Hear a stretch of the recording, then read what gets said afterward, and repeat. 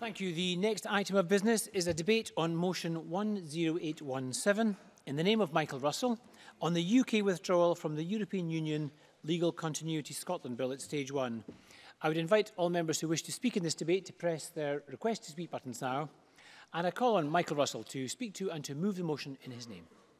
Uh, thank you, presiding officer. When I came to this chamber last week, I spoke of my regret that the government had had to take the step of introducing this continuity bill. Today, as we consider the general principles of the bill at stage one, I still regret the circumstances that have led the government to take this step. They still persist. We have yet to reach agreement on satisfactory amendments with the UK government in advance of a further meeting of the JMC EN tomorrow and the JMC plenary, that is the Prime Minister and the First Ministers, scheduled for the 14th of March. The First Minister set out in the Chamber last week the crucial issue of principle that divides the Scottish and Welsh governments from the UK government. that the consent of this Parliament should be required for any changes to our powers. I go into tomorrow's JMCEN as the First Minister will go to the plenary next week, still working imaginatively and cooperatively to achieve the agreement that remains our aim. I will, of course, keep Parliament fully informed of developments, and indeed I sent a note to all members last night, which included information of where things presently stood. Of course. Mike Rumbles. document, why does the Henry VIII powers in section 13 give ministers the power for 15 years to make regulations creating new public authorities without MSPs in this parliament having any ability to amend ministers' proposals in any way whatsoever. Is that not an assault on the powers of this parliament? Minister. Well, we have made very considerable changes to the powers as recommended by the UK government. Uh, I appeared before the Delegated Powers Ye Committee yesterday and made it clear that we have met their objections that they raised with us almost in entirety last year on the government bill. But I point out to Mr Rumbles, this is a stage one debate. If Mr Rumbles wishes to bring an amendment to the bill at stage two, which will be next week, to consider that matter, the Chamber will have the opportunity to do so, and I will defend the powers in the bill with uh, my usual vigour, and I'm sure Mr Rumbles will argue against them with his usual vigour. So um, we are now, of course, presiding officer, at the first key milestone in the passage of the Continuity Bill through this Parliament. But although this is the first key milestone, it's far from the first parliamentary activity on the bill since introduction last week. As well as my own statement on the 27th of February, the Lord Advocate came to make his statement on the issue of legislative competence on the 28th of February. We then had a very full and I think interesting and constructive debate in the most part, on the emergency bill procedure and timetabling on the 1st of March, even as the snow closed in all around us. And during that debate, the government was rightly challenged on its plans on how to maximise scrutiny of this bill, given the circumstances and timeframes within which we are operating. And Mr Rumbles was one of those who challenged vigorously on that issue. Members, I hope, are now aware that of the arrangements that are being proposed as a result of that challenge uh, for what is, I think, a novel and I hope highly effective procedure for stage two. It will allow the maximum participation by members in this chamber to offer their views on proposed amendments to the bill. And it will allow for in-depth scrutiny by an expert committee of individual, of, in, uh, uh, of individual amendments that is the feature of normal stage two proceedings. And that committee this morning, the Financial and Constitution Committee, uh, was challenging and detailed in its scrutiny of the bill at this stage.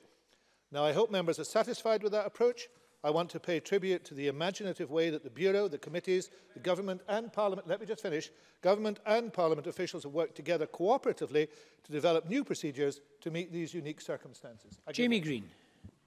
Uh, the Minister asks uh, that he hopes members are satisfied with that approach. Does the Minister think that one evidence session from one witness is absolutely sufficient to uh, duly scrutinise this bill? I'm not satisfied, and I suspect many other members aren't either. Minister. Well, um, I think Mr. Green needs to look at what has happened. There has not been one evidence session with one individual. There has, for example, this morning been in the Finance and Constitution Committee a panel which was closely questioned for an hour and a half. I have appeared before. I believe I am appearing eh, at four or five committees next week, and others are doing so too. But I would ask the member to consider whose responsibility this is. It is the UK government's responsibility for, for pursuing Brexit. For pursu well, the members may not wish it. Tory, Tory members may have great difficulty taking responsibility for their Westminster colleagues, but they have that responsibility and they should face up to it. Now, presiding officer, let me consider committee scrutiny. I pay tribute to the rapid mobilisation of committees of this Parliament to examine the bill, to provide the Chamber with detailed insights and their perspective. Yesterday, I've said I gave evidence to the Delegated Powers and Law Reform Committee in an interesting session. I, the convener has now written to the presiding officer with comments and that those comments are available to every member and have been distributed. The government, of course, will be considering carefully our response to the points. But of course, we also provided the committee yesterday with detailed information on some specific questions that had been asked, and we will continue to do so. And I noticed today, for example, that, uh, you know, could I please make some progress? I also noticed this morning that Spice has issued a note of yesterday's meeting which summarizes the evidence all, a whole range of things are being done to help the Chamber to consider this bill and to meet the objections raised. I have sessions with the Environment and Climate Change Committee, the Equality and Human Rights Committee, Culture, Tourism, Europe and External Relations Committee next week, and I shall be returning to the Finance and Constitution Committee.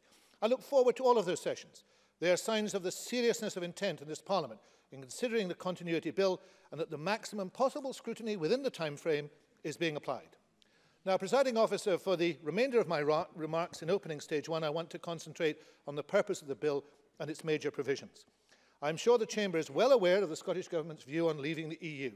I find it difficult to overstate my own fears about the damage that is being done to the UK and Scotland through this process in almost every aspect of our political, social and economic life, which we did not vote for. But the Scottish Government has always accepted that necessary steps have to be taken to prepare for withdrawal and that the Scottish Government and Parliament has a responsibility to play its full part in those preparations in areas for which we have legislative consequence. Hence, we have engaged with the UK Withdrawal Bill. Hence, we have introduced the Continuity Bill. And as set out in Section 1.1 of the Bill, its purpose is to make provision for ensuring the effective operation of Scots law, so far as within devolved legislative competence, upon and after UK withdrawal. And it, of course, Neil Findlay. Several, uh, several times the Minister's uh, Cabinet Secretary has been asked to publish the 25 areas of contention. Uh, he has said there is no agreement on that. Previously, he published 111 areas uh, where there was going to be discussion.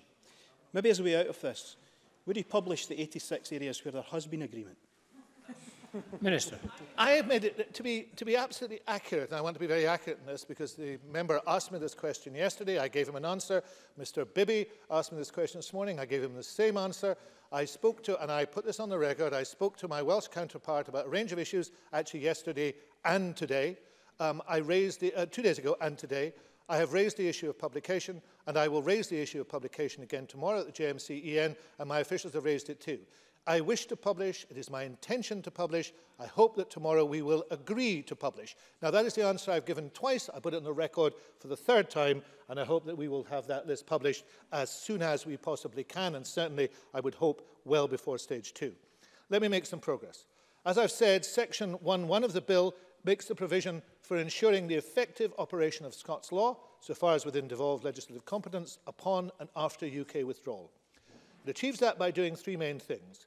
It saves all domestic devolved law that relates to the EU and separately incorporates devolved EU law that is directly applicable into domestic law. It gives the Scottish ministers the powers needed to ensure that this devolved law continues to operate effectively after the UK has left the EU, and it gives Scottish ministers the power to ensure that Scotland's laws keep pace with developments in EU law. The first two of these are familiar to members from the UK withdrawal bill.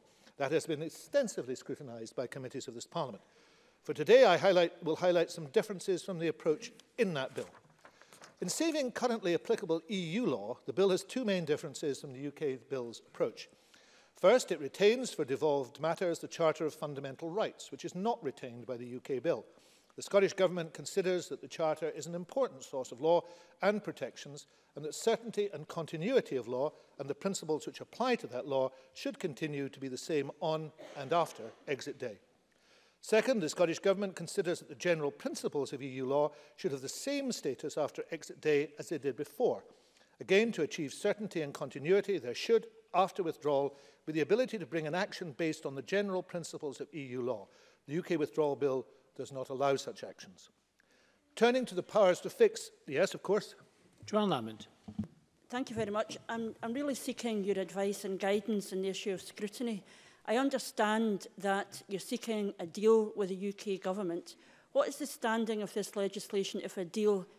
is achieved? And what opportunity is there for this Parliament to scrutinise that deal, given we don't know where the areas of dispute are? Well, I've indicated that I wish to publish further information, and I've just given that commitment for the third time, and I'm happy to give it again. Um, I also gave a commitment to Patrick Harvey last week that if an agreement was likely to be reached, we would come to this chamber uh, and we would ask the Chamber for their views on the matter, and particularly in terms of proceeding with this bill, which we do not think we would want to proceed with if we were able to reach an agreement. So that is a commitment I made last week. I repeat it here. Now let me try and make some progress on this. The Bill for Devolved Matters retains the Charter of Fundamental Rights, which I have said is not retained by the UK Bill. We consider the Charter an important source of law and protections. We also consider that the general principles of EU law should have the same status after exit day as they did before. Turning to the powers to fix deficiencies on retained EU e law following withdrawal, the government acknowledges the criticism it made of the scope of the equivalent parts of the UK withdrawal bill. However, despite these criticisms, the government shares the view of the uh, Delegated Powers Committee on the UK bill when it said the committee reluctantly accepts that the unprecedented task of modifying domestic legislation to preserve the statute book on leaving the European Union and the short time frame in which it is to be done necessitates broad powers. In any other circumstances, the conferral of such wide powers would be inconceivable, but the committee accepts that in these circumstances, the taking of wide powers is unavoidable. However, to address some of the criticisms made by the committee, there are, as I have indicated to Mr Rumbles, important changes made from the UK bill. Most significantly, the power can only be used when it is necessary to address a deficiency. Once that threshold, which is defined in the bill, has been reached, It is then for ministers to decide the appropriate fix for the deficiency, but there is a higher initial test for the power to be applicable. There are additional limits built into the powers. For example, they cannot be used to modify the Equality Act 2006 and the Equality Act 2010, as well as the Scotland Act 1998. In addition to the normal negative and affirmative procedures, the bill includes an enhanced version of affirmative procedure where the powers are used to create a new public body, transfer functions to a new public body, or abolish an existing function. The Scottish Parliament is given 60 days rather than 40 days to consider the order. The Scottish ministers must also consult on the proposals and report on that cons consultation to the Parliament. I will. My grumbles. This matter is very simple. you are taking powers to yourself for 15 years out of the hands of Parliament. Parliament can only say yes or no. It can't do its job in legislation. That's the point. Minister. To the member, the, the, the, the view of the Delegated Powers Committee about the exceptional nature of these circumstances, which are not of our making. I do not wish to leave the EU. I, I think many people in this chamber do not wish to leave the EU, and we would be happy not to do this.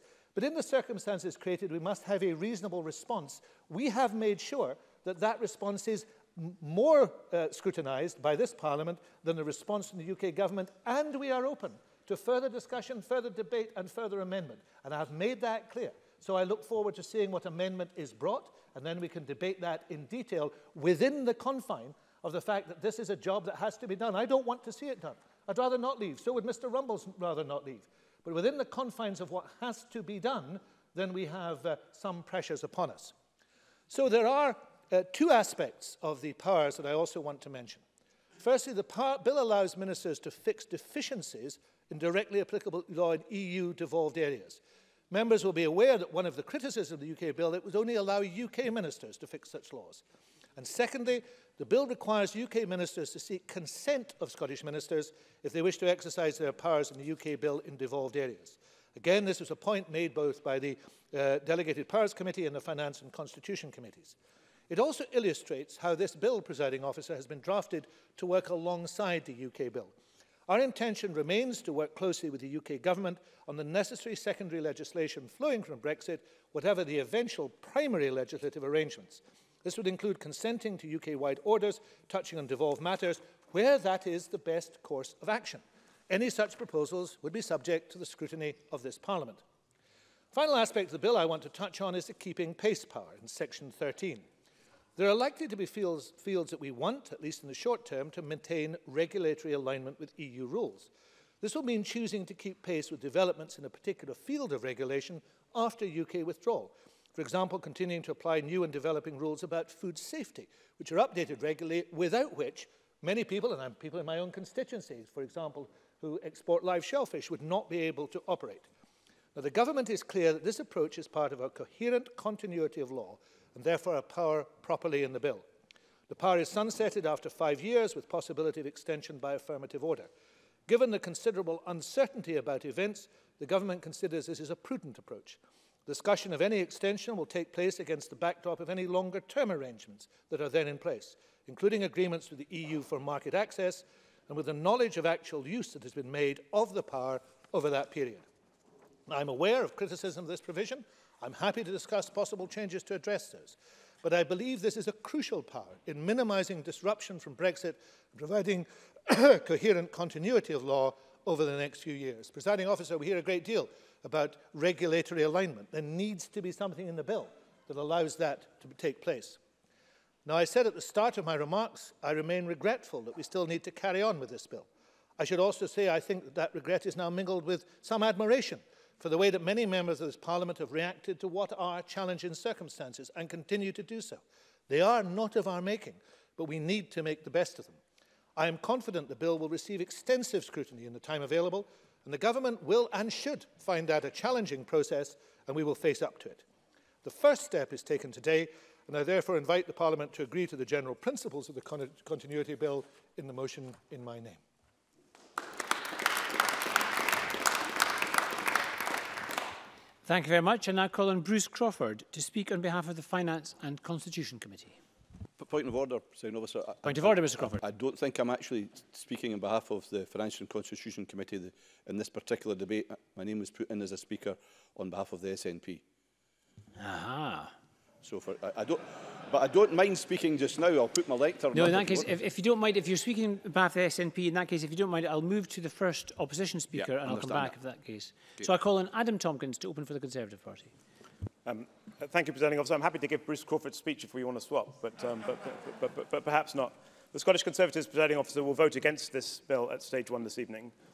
because this bill is unnecessary, it is seriously flawed, it is ill thought through, and it is incoherent. Errors compounded by the reckless speed with which the government is railroading the bill through Parliament. Even worse, this bill is incompetent. Our very own presiding officer has told us so, yet the SNP carry on regardless, regardless of the views of the presiding officer, regardless of the rule of law, and regardless of the very devolution settlement, which they claim to champion in their rhetoric, yet trample all over in their actions. Yeah, well let, let me start, presiding officer, with why this bill is unnecessary. Now, we all agree that there needs to be legislation to give effect to the democratic decision of the British people in June 2016 to leave the European Union. And we all agree that that legislation needs to make provision to correct and update the statute book so that it hangs together and makes sense in a post-Brexit world. We also all agree that that legislation must respect the foundations of the United Kingdom Constitution, including the devolution settlements in Wales, Scotland, and soon to be restored, we hope, in Northern Ireland. Nobody can seriously think that leaving the European Union means that we somehow revert back to the Constitution of 1972, the year the UK joined. Leaving the European Union means, among other things, that this Parliament will get even stronger.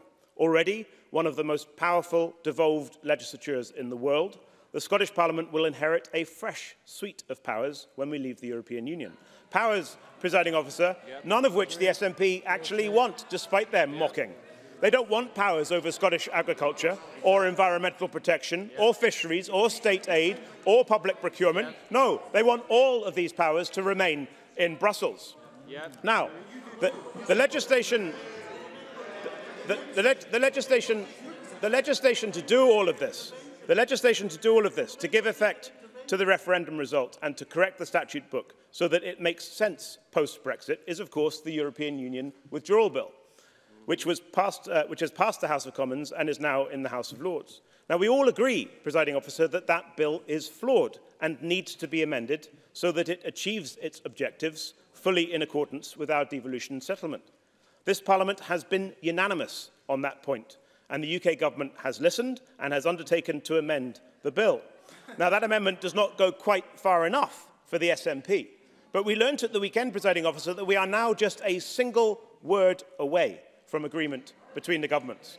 Yet now, both the negotiations at government level and the all-party consensus in this parliament have been placed in jeopardy by the SNP's so-called continuity bill. Yep. So-called because the reality, presiding officer, is that it is no such thing. This is not a bill designed to create continuity, but to sow the seeds of confusion, even chaos, it's not a legal continuity bill, it's a legal confusion bill, a wrecking bill. It's a wrecking bill. It threatens to wreck the negotiations, and it certainly wrecks the consensus that has existed in this Parliament. Its own policy memorandum says that this bill will, and I quote, add to the complexity of Brexit and will present serious logistical challenges. Not my words, presiding officer, but the Scottish Government's words. And they rather give the game away, don't they? This is a government, it seems, that's no longer all that interested in doing a deal with the UK government on the withdrawal bill. The SNP is reverting to the stance it first took about Brexit, the stance that cost the nationalists 40% of their MPs and half a million votes in June's general election, the stance that tries to maximise the complexity and challenges of Brexit in order to sow the seeds of constitutional division. Yep. That the bill is seriously flawed and ill thought through is not just my view, presiding officer. It is the view of a number of expert witnesses who gave evidence this morning to the Finance and Constitution Committee. Professor Alan Page of the University of Dundee said, for example, that he has considerable doubts over whether the bill constitutes an effective solution to the challenge the Scottish Government, the Scottish Parliament will face in preparing the devolved laws for the UK's withdrawal from the EU. This, he says, is for the simple reason that the bill does not resolve, indeed cannot resolve, the critical question of which EU competences are devolved and which are reserved. This is a question that can be determined only by Westminster legislation, which is why we on these benches say that the right vehicle is the EU withdrawal bill and not this wrecking bill. The Law Society of Scotland is equally critical. The Law Society rightly draws our, our attention to the way the bill introduces wholly new categories of law, like retained devolved EU law, which will make it more difficult, says the Law Society, to be certain about the law. How ironic, then, that, the, that legal certainty is one of the general principles of EU law that the bill seeks to preserve in Scots law in Section 5. The reality is that this is a bill for legal uncertainty, legal confusion, legal chaos, the very opposite of legal certainty. The bill fails to meet the tests set by the very same general principles it seeks to preserve. We are presiding officer, some way through the looking glass here, Mike Russell in Wonderland.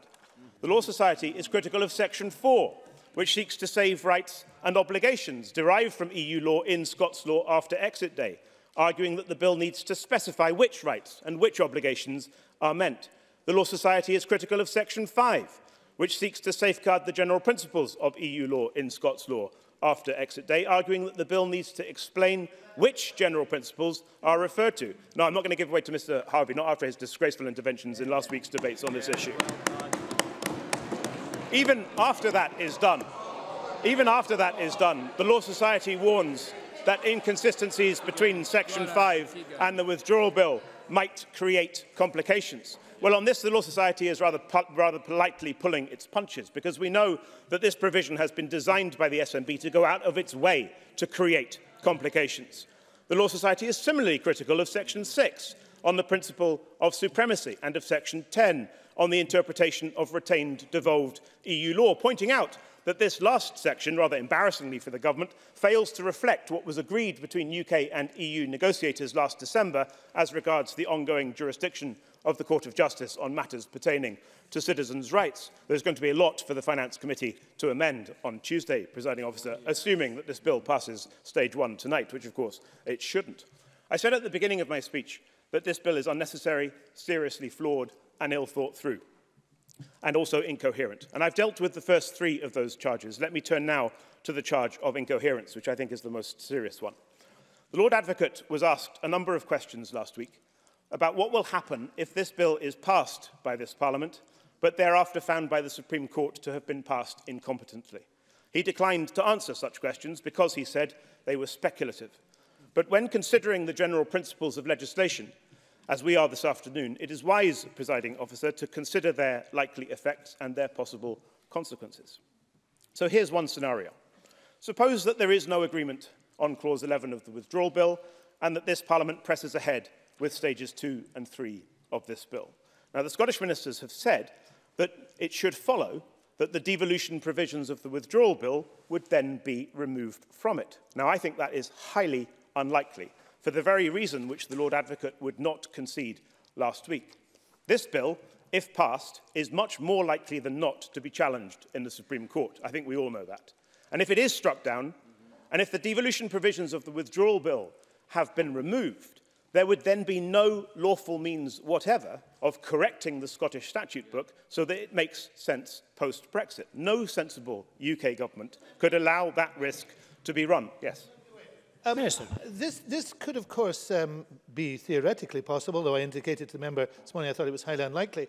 But the member, in his questioning this morning, indicated that the UK government would be likely to ignore the Sewell Convention in these circumstances. So is he saying that the Sewell Convention is about to be suspended by the UK government, which would be a very considerable and difficult step to take? Adam Tompkins. Absolutely not. because the Steel Convention was suspended by Mike Russell last week, and I'm going to quote to him exactly the provision of his speech last week that suspended the Steel Convention because he, he do, he's, he's not quite as clever as he thinks he is, and he doesn't quite know what he's doing. What of Sewell? What of Sewell, I hear you cry. The UK, the UK, the UK would have to remove the devolution provisions from the withdrawal bill if we did not consent to them, wouldn't it?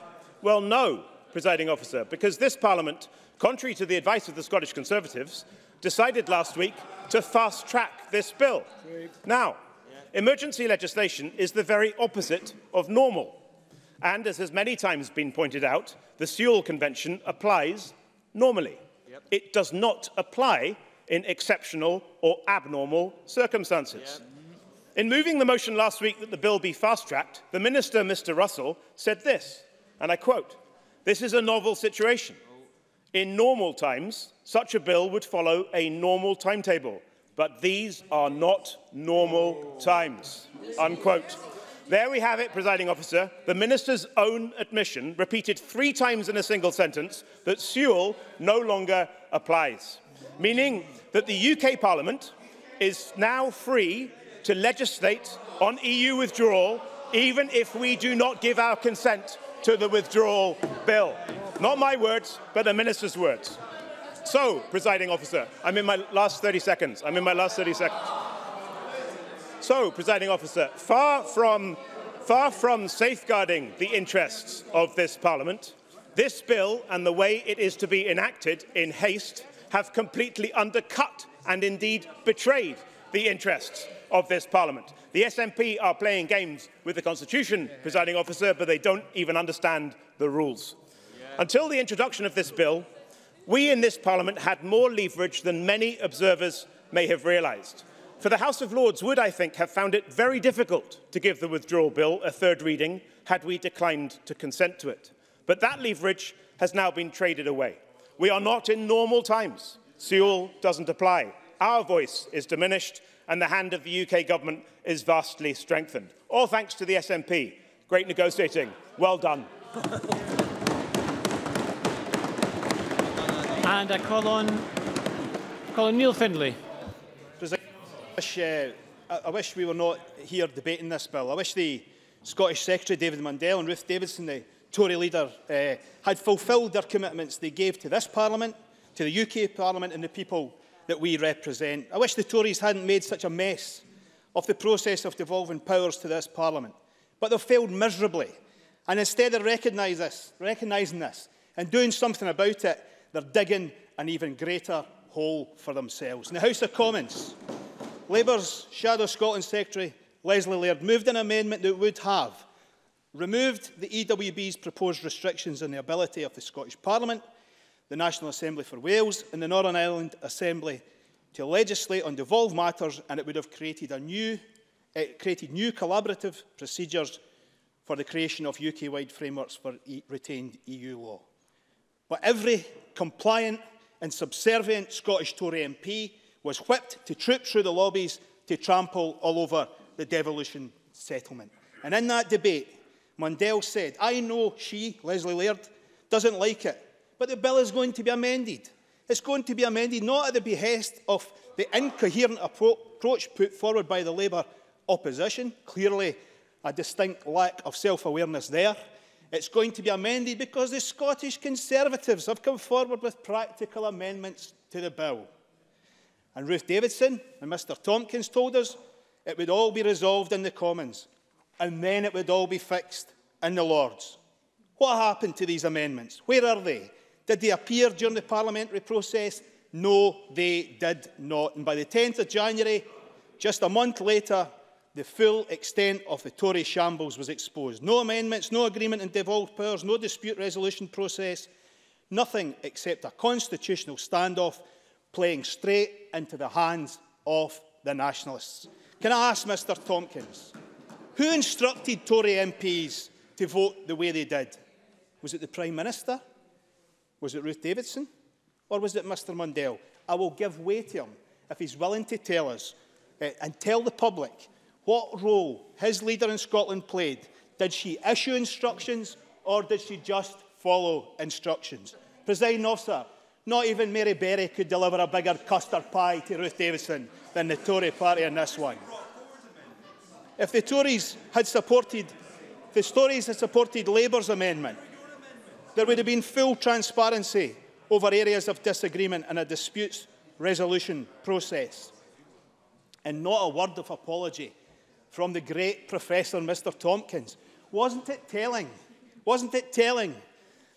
that the man who lectures people in constitutional law couldn't even take an intervention from teeny weeny little Patrick? There he is, exposed. exposed for what he is. As it stands today, yeah. Mr. Only Findlay, the Cabinet Mr. Secretary. Mr. Findlay, Mr. Findlay, just a second. I conscious that uh,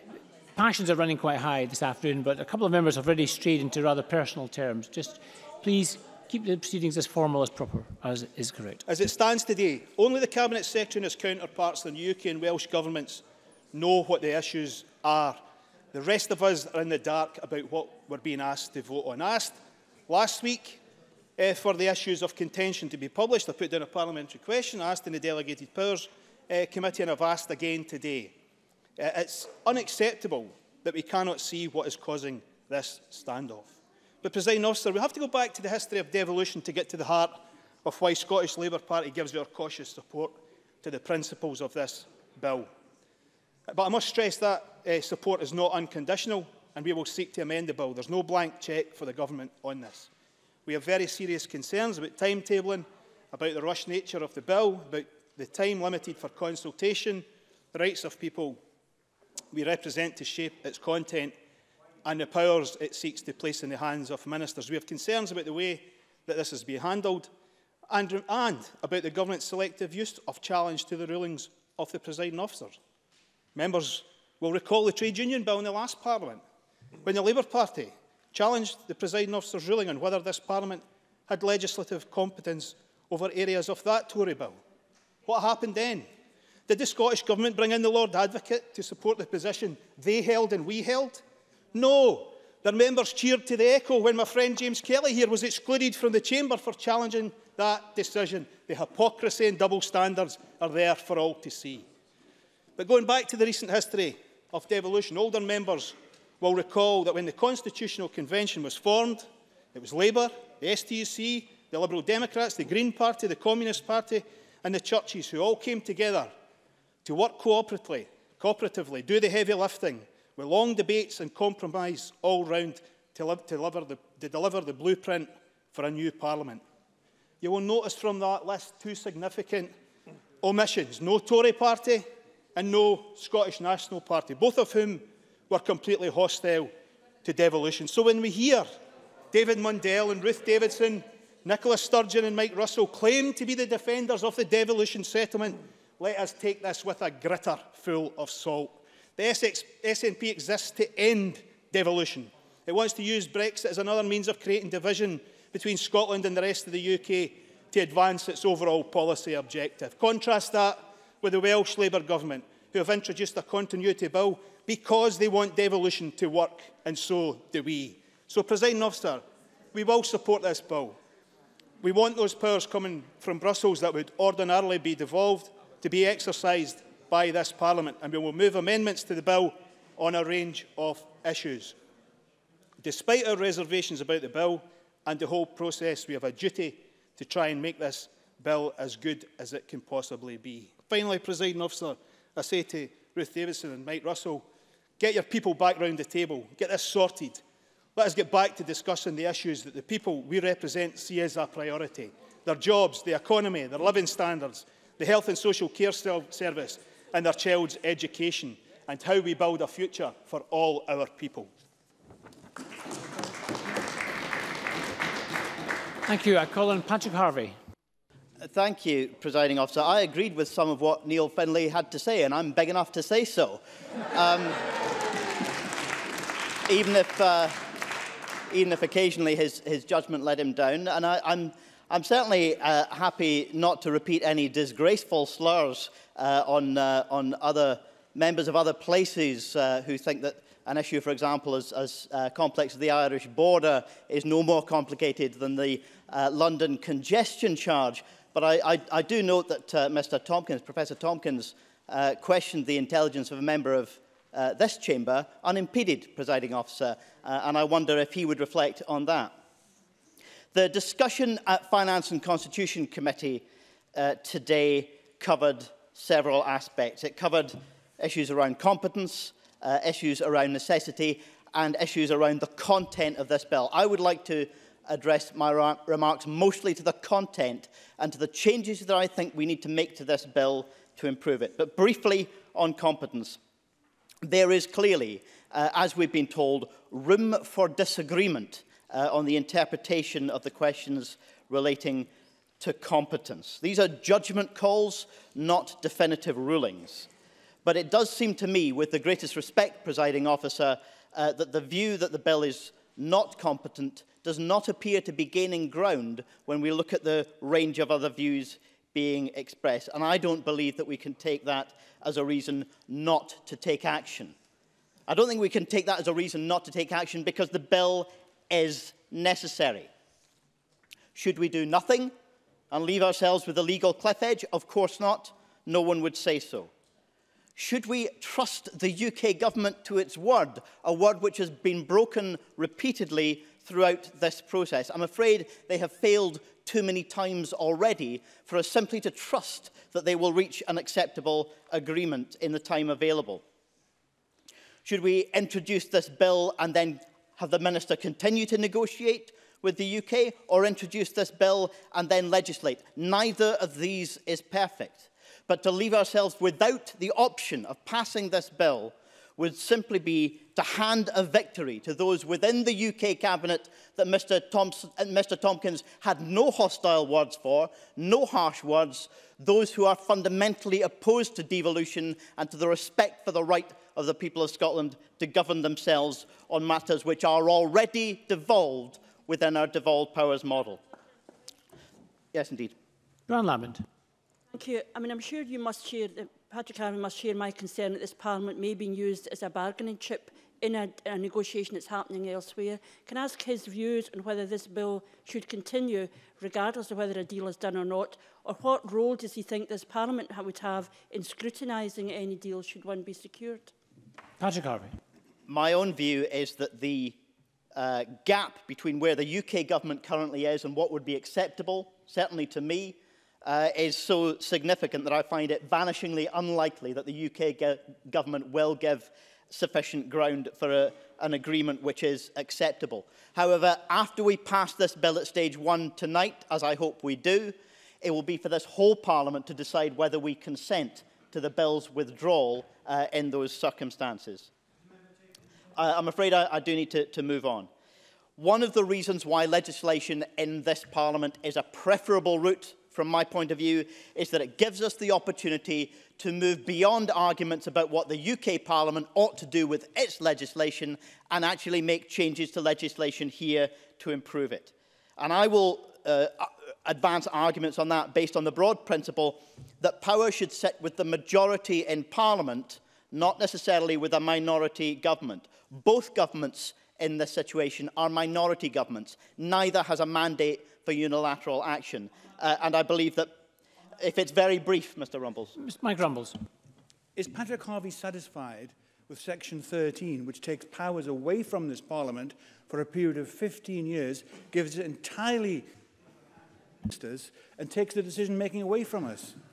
Patrick Harvey. I'm not going to say that I'm satisfied with the detail of any section until I've seen everyone's amendments, including those that Mr Rumbles uh, brings forward. I'd like to make some, some progress on the specific changes that I think are necessary. The, the Minister talks about the range of scrutiny measures which will be available for subordinate legislation, the negative, the positive and the super-affirmative procedure or the uh, enhanced affirmative procedure. I think there is a case not only to have some definition about that in the bill, but also for Parliament to be in a position to decide for itself that uh, a measure currently uh, requiring negative procedure should get positive uh, procedure, or indeed that consultation should be necessary and the enhanced procedure should be used. I think that decision should be available for Parliament to make through some form of sifting mechanism, whether through an, ind an independent committee or through our subject committees. In relation to section 17, which again the minister referred to, the ability for Scottish ministers to consent to measures taken by UK ministers on devolved matters. This clearly must require parliamentary consent, not merely ministerial consent. Now, the government has given us some verbal reassurance that parliamentary consent will always be needed. I believe there is a case for putting that on the face of the bill so that ministers are not in the position ever of being able to agree to consent to UK measures on devolved matters without the agreement of this Parliament. And finally, presiding officer, on urgent cases, uh, the opportunity for ministers uh, to effectively pass laws, change laws, and then ask Parliament's approval afterwards is a massive new power. And again, uh, I think we need to improve the parliamentary scrutiny uh, on that, either by means of an emergency break or a time limit between the making of a, uh, an instrument uh, and the laying of it, uh, or indeed measures to prevent that from happening during a parliamentary recess.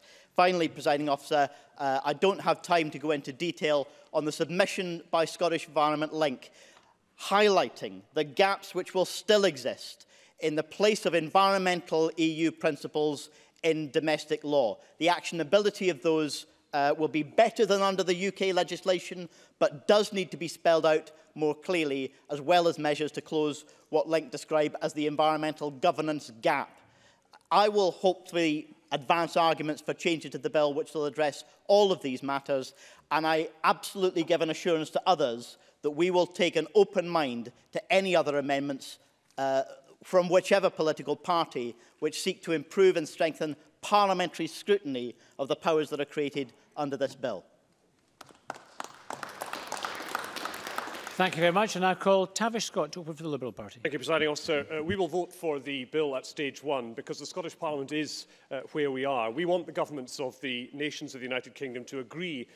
on the powers that should be here in Edinburgh, in Cardiff, in Belfast and indeed in London. And it is disappointing that the Conservative speech this afternoon did not start from that basis, start from the need for an agreement. Indeed, the briefings to the press this week suggest that is, more, is further away than it uh, is closer. Um, indeed, Adam Tompkins' speech was a speech masquerading as a parliamentary assessment of the bill, rather than what it really was, which was a political justification for the Tory position. A position which is not about the future of the nations of the United Kingdom, but about unity in the Tory party. Uh, I hope the uh, minister's meeting tomorrow. I hope the minister's meeting tomorrow. Uh, Ruth Davidson laughs. Well, if someone should know about the uh, know about unity in her party, I suppose it's Ruth uh,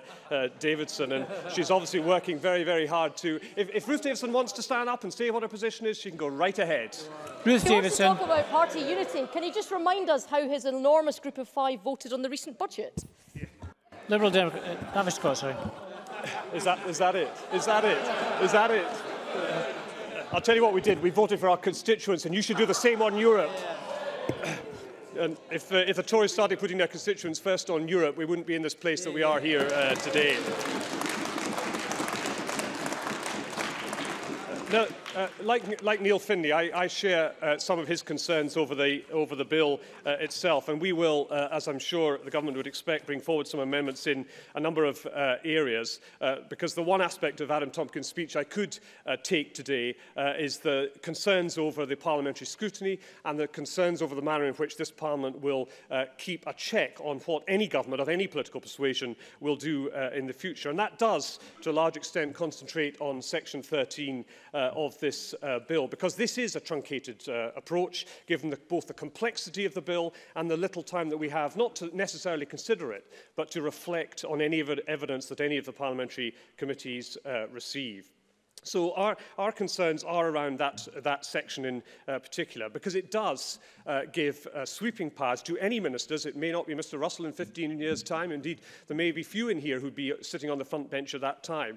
But to have a power that potentially uh, leaves ministers uh, for the next 15 years without the necessity of, of bringing back to Parliament, can just finish this point and then I'll happily give way, necessity to come back to Parliament on the actual power that it is, uh, I do not think is a measure that we should consider uh, slightly indeed. Happy to give way. Michael Russell. I, I just want to make it clear that the proposal is five years with renewal available after scrutiny and of course, I indicated in my, my, my, my, my opening speech that that would include, of course, a consideration of how the power had been used.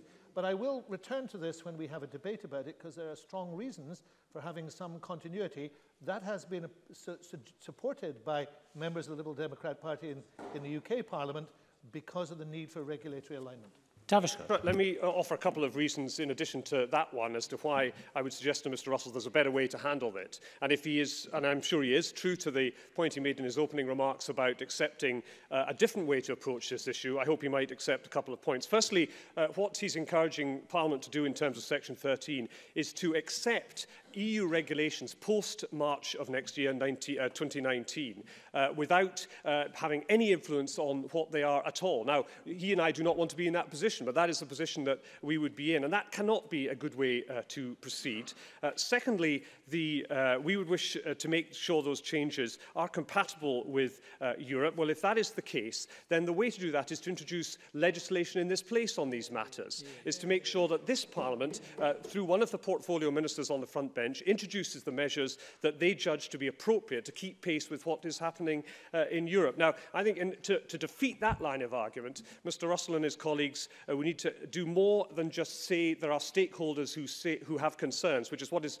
what uh, the uh, letter from the, the uh, committee says to Parliament uh, today. They need to set out the range of those uh, concerns, the range of those stakeholders, and the range of legislation that we would be brought forward. We're all aware of how much, how many statutory instruments come from or, or uh, instruments, I should say, come from Brussels every year to the uh, UK Parliament and thus to the devolved parliaments of the United Kingdom. But nevertheless, uh, to go with the power that's in Section 13 uh, without uh, considering what that actually means in practice, I don't think is, is uh, realistic and appropriate. And the final uh, suggestion I want to make to, to the Minister uh, is this, that that uh, we cannot have that power in isolation. Uh, he has made much, and rightly made much, of the need to uh, collaborate and come to agreement with Cardiff and with, and indeed he's doing it on this bill because it is the same bill as in, or at least we are, we are told it's the same bill as in Cardiff, with Belfast when, those, when the, uh, the government of Belfast is back in place, and indeed with London. In other words, the administrations around the United Kingdom need to agree. Well, here this power has no mention whatsoever of the other administrations of the United Kingdom. And if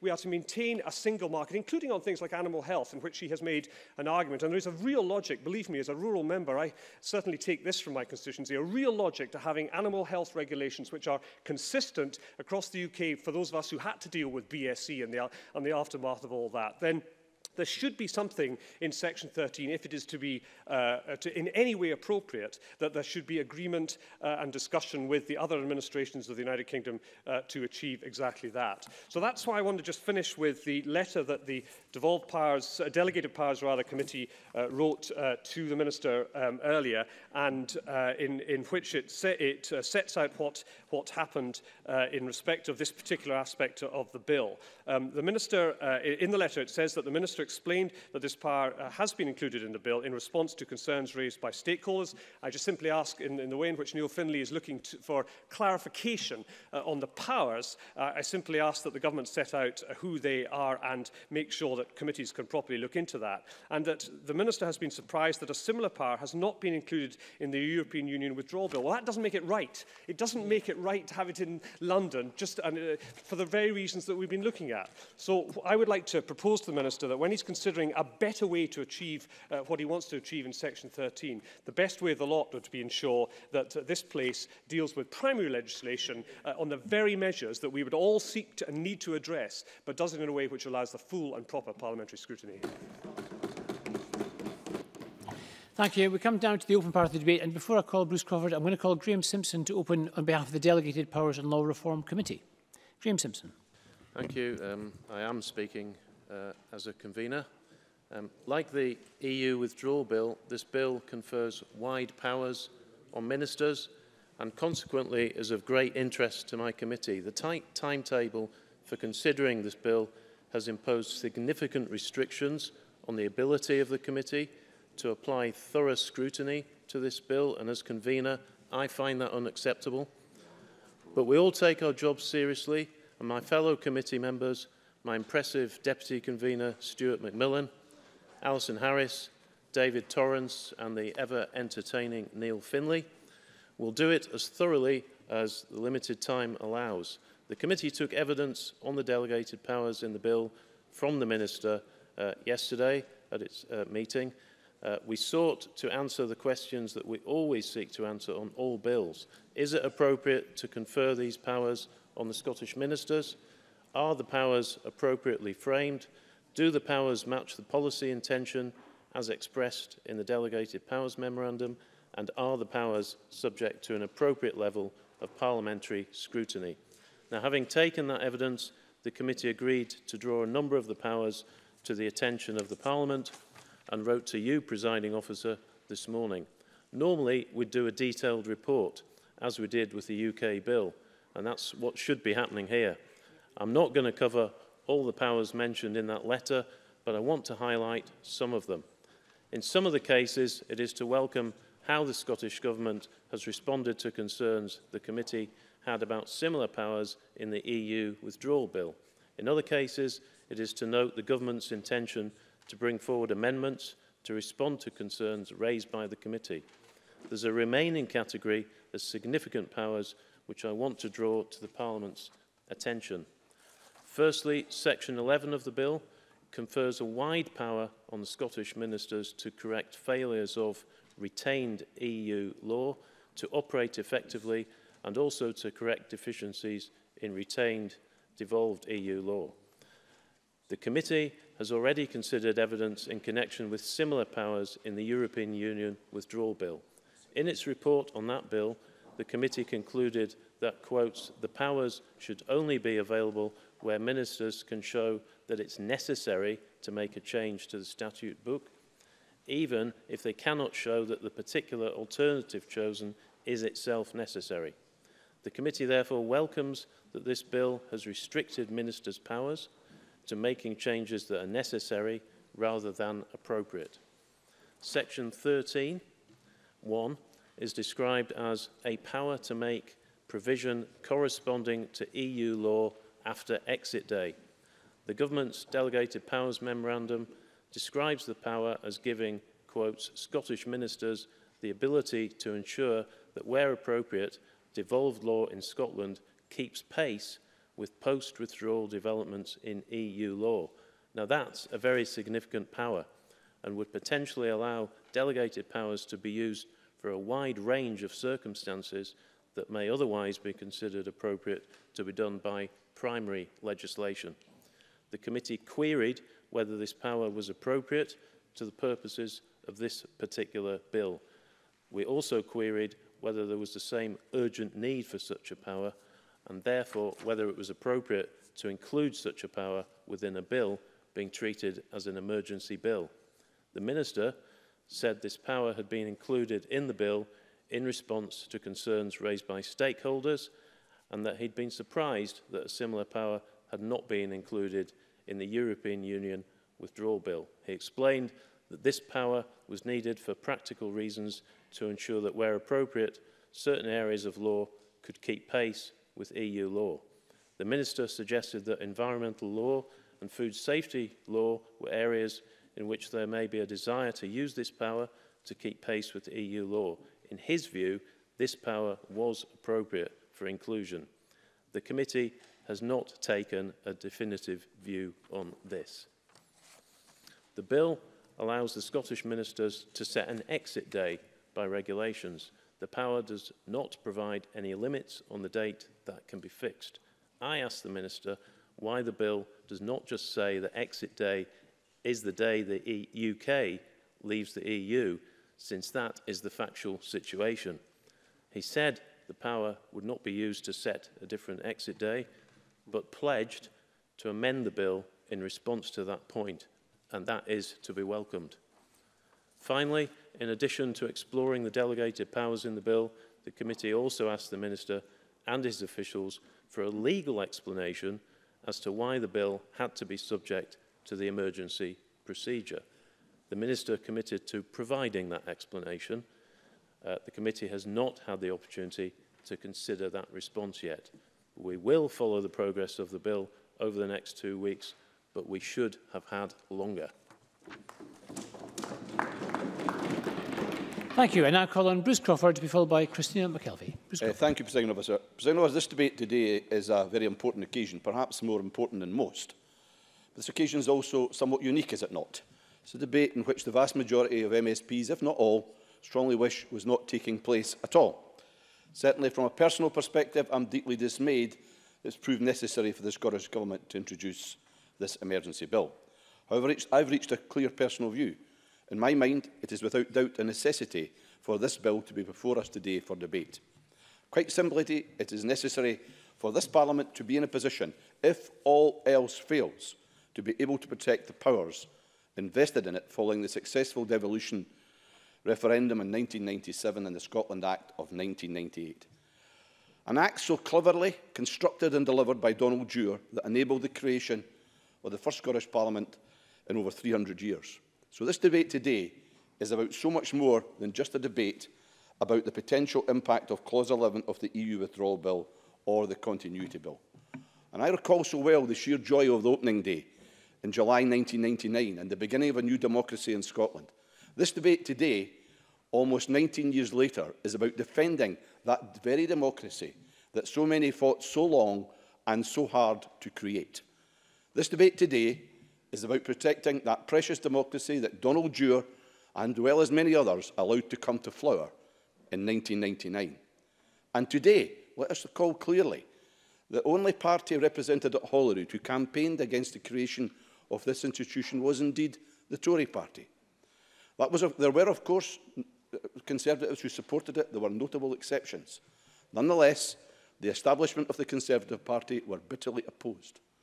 And at this time, I'm far from convinced that today's UK Tory party are in real reality much changed in tone and attitude towards this Parliament, as was the case in the past. I sincerely hope I will be proved wrong regarding my scepticism and that agreement will be reached and this bill will become an historical irrelevance. I certainly previously hoped that agreement would be reached and arrived at, and the Secretary of State for Scotland would be in a position to deliver on his promise to sort Clause 11, albeit on a timescale much later than originally envisaged. But this hope was all but dashed by the tone and attitude adopted by, recently by the Cabinet Office Minister, David Liddington. We can only assume he is closer to the leadership of the UK Tory government than the rather forlorn figure of the Secretary of State for Scotland, who appears to have promised more than he can deliver. And here I've got to say I disagree with Neil Finlay when he, when he, when he characterised the Tory government position as a custard pie. I think it's much more an eaten mess on this occasion. and, and I'll give that line to Ash Denham, so not so many laughed as I thought there would be. In the, in the near future, though, we'll know the answer as to whether agreement can be found. But I, for one, am not prepared to take a chance on agreement being found. There are no guarantees, and I'll take some convincing that any promises for the future are deliverable. That is why the background of this continuity bill is so important, and that's why I'll be voting for its general principles at decision time. Now, I know today the majority of Tories here at Holyrood are supporters of devolution. They clearly demonstrated that by supporting the Finance and Constitution Committee's position in declaring Clause 11 incompatible with the devolution settlement. But I ask the same Tories today, if you're not prepared to support the passing of this bill in principle at decision time, and if agreement cannot be reached, will you vote with those who would protect this Parliament and vote to refuse consent to the EU withdrawal bill? Because your decision day may be coming very soon. Will you side Indeed. Jeremy Balfour. We all want to protect this Parliament. What is your view that if the Supreme Court, in due course, do say that this bill is illegal and cannot go ahead, what, how does that protect the Parliament? That, that's already been addressed, Mike Russell, but I'll, I'll say this to Jeremy Balfour. Um, I've got to ask you and the rest of your colleagues, whose side will be on? Will you be protecting democracy in Scotland and this Parliament of Scotland, or will you be taking the Tory party line from London? That's going to be the question that's coming your way very shortly. So, in closing, Presiding Officer, let me outline my position in regard to the issue of competency. First, let me say I don't disrespect the position adopted by the Presiding Officer in regard to competency. But let me put it simply. I choose to agree with the position of the Lord Advocate, Scotland's top law officer. And I use that word choose deliberately, because this is a matter of who we are as parliamentarians and who we choose to believe. As Patrick Harvey said earlier, we heard this morning, we heard this morning at the Finance and Constitution Committee, there is space for disagreement in this matter. It's therefore not as simple as a matter of who is right or who is wrong in terms of the finer point of law. And in this view, in this view, I am reminded of the words of Donald Dewar from the opening of this Parliament and the birth of a new democracy on the 1st of July 1999, when he said on that fantastic day, this is about more than our politics and our laws. This is about who we are and how we carry ourselves. So when we come to decision time, let us all remember these words. This is about who we are and how we carry ourselves. Support the general principles of the bill, vote to protect this parliament, vote to protect this democracy in Scotland, We owe it to the memory of those who fought so long and hard to bring this Parliament into existence, to protect the powers of this Parliament. So do the right thing. Christine McKelvey to be followed by Jackson Carroll. Christine McKelvey. Thank you uh, very much, Presiding Officer. It's my belief that for the UK to leave the European Union is the greatest act of political self-harm of our time. We have not yet properly seen the damage unfold, but when it comes, it will be, I believe, immense. And the purpose of the bill before us today is abundantly clear. It will be a vital declaration of protection for every individual in Scotland, preserving and defending our devolution and our very democracy. It will mitigate the impact of Brexit on this Parliament and on the Scottish Government and on Scottish society, though sadly it cannot save Scotland completely. Okay. John Lamont. Um, can I assume from what the member has said that regardless of whether there's a deal or not, you think the bill should continue? Christina McKelvey. I think um, the bill is in place today in order to ensure we get that deal. And if we don't get that deal, we have to protect this place. But I also have to say that David Mundell gives me no reassurance that we will get a deal. David Liddington gives me no reassurance that we will get a deal. So in order to protect this Parliament's power and this Parliament's place in our nation, we need this bill today. So let's make no mistake about that. The very ethos The reconvening of this Scottish Parliament in 1999 is now under threat, one that would have horrified Donald Dewar. And Theresa May doesn't seem to know from one day to the next whether it, it, she's actually trying to put in place. She has no idea She's riddled with contradictions. She wants a hard Brexit, but she doesn't want a hard border in Ireland. Well, I'm sorry, those two are mutually exclusive positions. She can't have a UK imperialistic cake and still eat from the EU cake. She needs to recognise that there are 27 other countries within a clear and long-established entity that want to protect their own interests rather than indulge the UK's. And while she continues her lament for British imperialism, we need to make sure we understand what she might do next, not a mean feat. And if the Scots won't do what they're told, that's the message we were getting last week, then she wants to, the ability to pull back her devolution and tell us we've all been bad children and put us on the naughty step, maybe forever. But just because she can't decide what to do about anything and totally rejects any concept that might just irritate her Brexit fanatics like Jacob Rees-Mogg, Boris Johnson or even the DUP doesn't mean she won't act at all. Only that she will almost certainly make the wrong decisions. And in some sense, she is a hostage as much as Scotland is. Her own position is dictated to her by others. She is the proverbial puppet on a string. And Brexit is not just about economics and trade. I am fed up hearing about that. It is also about the profound impacts upon all of our rights. Indeed, leaving the EU will deprive us of the benefits that have been guaranteed by, to us by the EU through its Charter of Fundamental Rights, which came into effect in December 2009. This charter guarantees a far wider range of rights than the UK's 1998 Human Rights Act. It prohibits, for example, all discrimination based on sex, race, colour, ethnic origin, religion, disability, age or sexual and gender orientation. It also guarantees access to healthcare and those very, very valuable environmental protections that we all need. Presiding officer, I'm profoundly concerned that people who voted Brexit didn't realise they were voting to limit, even lose altogether our rights at work, such as now reasonable working hours and holiday leave, rights under the European Courts of Justice, rights in pregnancy and maternity leave, and a host of other protections that seem set for the bonfire of EU legislation that will follow Brexit.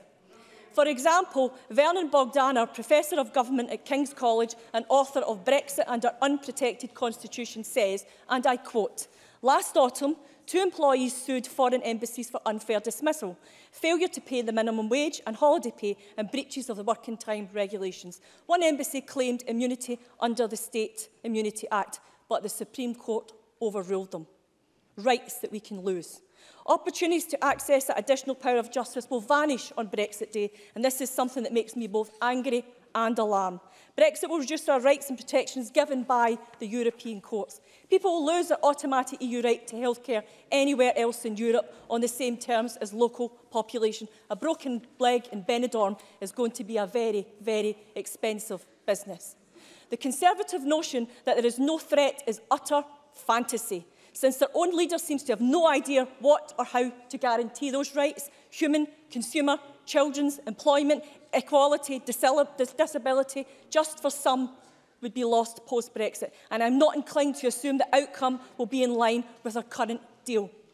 As John Major remarked last week, presiding officer, there can be no Brexit outcome that will be good as the package we already have from within the EU. I hear nothing that gives me any reassurance, only a lot of anxiety and ever-increasing sense of doom. But I'll tell you, presiding officer, who does give me reassurance? Our Lord Advocate and his detailed considered and thought out determination. He gives me reassurance. And as my colleague Mike Russell highlighted last week, we may not ultimately need the bill at all, but he has equally made it clear that it needs to be in place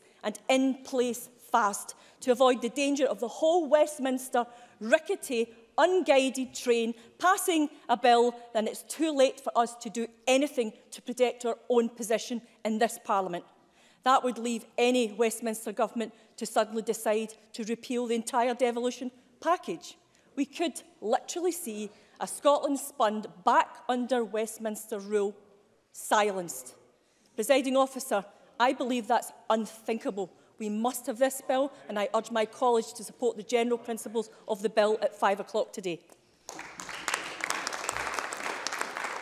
Colin Jackson Carlodge will be followed by Alec Neil. Jackson Carlodge. Thank you, Presiding Officer. C can I start with a word in defence of the reputation of Mary Berry? Uh, because were she to bake it, it would be a custard tart and not a custard pie, Mr Finlay. and can I say to you that she currently has a series in BBC One, Mary Berry's Classic Recipes for People Who Find Cooking Challenging. I, you'd do well to watch it. I only hope she could have a series on Brexit for you to watch too. Presiding officer, I remain an optimist. Uh, maybe a little later. I mean, I, I, I, not much you can tell me about baking, I fear. Um, I, I remain an optimist. Um, my colleague Adam Tompkins and I will look at the same glass of water. He will see it half empty. I will probably see it half full. Uh, neither of us is right nor wrong, uh, but I therefore want to be slightly more generous and to say that I continue to believe that it is the endeavour of ministers to actually secure an agreement which will render this bill unnecessary. Why do I want to continue to believe that? Because both the Deputy First Minister and Mr Russell have told me that that is the case. Uh, and that is why I think the, the, most prefer the preferable option is that that agreement is struck and that this bill does not proceed. And I think it's worth just you know, going back to September when Mr Russell came to the Chamber and, and sought the support of all of us uh, to look at the bill that had been published and to accept, as we subsequently all did and as Mr Crawford recognised, that Clause 11 was unacceptable, that there was a unanimous consent across this Parliament that that was so and that an amendment to that would be needed. And we have also in this chamber joined in the frustration of others that that amendment has not yet been achieved, that for whatever reason, changes of ministers or whatever, Uh, those discussions have not yet led to a conclusion. But nor would it be fair, I think, as the, some in this debate have already characterised, and as some might like to do so, that there has been absolutely no progress whatsoever in these negotiations. These negotiations have actually led to significant progress between two governments. We remain obstructed on a key point which the First Minister herself identified in this chamber last week as essentially revolving around a key fundamental and hugely important clause, a particular word, whether this Parliament gives its consent or whether it is consulted on the frameworks uh, and disagreements within the frameworks that might arise. And I'd like to come back to that. But I do hope that in the discussions that take place this week, and ahead of or at the very latest on March the 14th, when the Prime Minister and the First Minister are hopefully scheduled to meet, that the nature of an agreement, building on the work that both governments have done, can be found in the resolution of the debate that remains over that fundamental clause so that this bill need not proceed. Now, while I believe that's the objective of ministers, I have to say I don't necessarily believe it's the objective of the whole chamber. I do think in his naked, unvarnished prejudice against Westminster, expressed again by Mr Harvey today, there is a desire among some not to see agreement, but actually to see the confusion, legal confusion bill, as Mr Tompkins called it, as the preferred option, um, perhaps in a minute, as the preferred option. I don't think Mr Harvey is alone. I think there are some within the SNP who feel that way. I think even on the front bench, Rosanna Cunningham, through her sort of exhortations and also the, you know, the, her expostulations and her body language during these debates has also given the impression she would prefer no agreement was reached and that this bill was the preferred route forward for the Scottish Government. Mr Swinney. Deputy First Minister. I'm, great, I'm, I'm grateful to Mr Carlo for giving me. Can I take him back slightly in his speech to where he gets accurately to the problem that is in this negotiation? And the resolution of that point has to be considered as to whether or not it can be resolved in a fashion that either protects devolution or undermines devolution. And that is what this government is concerned to advance. But equally, would Mr Carlow accept that the United Kingdom government must also determine the issue on that same question. Jackson Carlo. I want to come very specifically to that point. We know that there are 111 powers, and I don't think it's unreasonable to say that these are powers which the SNP in principle would prefer never again cross the channel to these isles and were left permanently in the hands of Brussels and not in the hands of this Parliament or Scottish Government ministers. But we know that these 111 powers have been narrowed down to a series of powers which would require to be covered by framework agreements. The word consent or consultation, I understand the anxiety of the Scottish Government about the word consultation. But I hope they can also understand the anxiety of others about the word consent, because consent implies veto. And not just one veto, but three. The veto of Wales, the veto of Northern Ireland, the veto of Scotland and the Westminster government, charged with the sovereign responsibility of protecting the single market across the United Kingdom, on which so much depends, cannot agree to an arrangement whereby any one of four parties could exercise a veto over something as fundamental as the internal working of the single market across the United Kingdom. And so it cannot and it will not agree to the word consent. So I want to be clear with Scottish Government ministers there are urgent talks taking place this week and in the run-up to the meeting on the 14th of March. But it has to be understood that the word they are seeking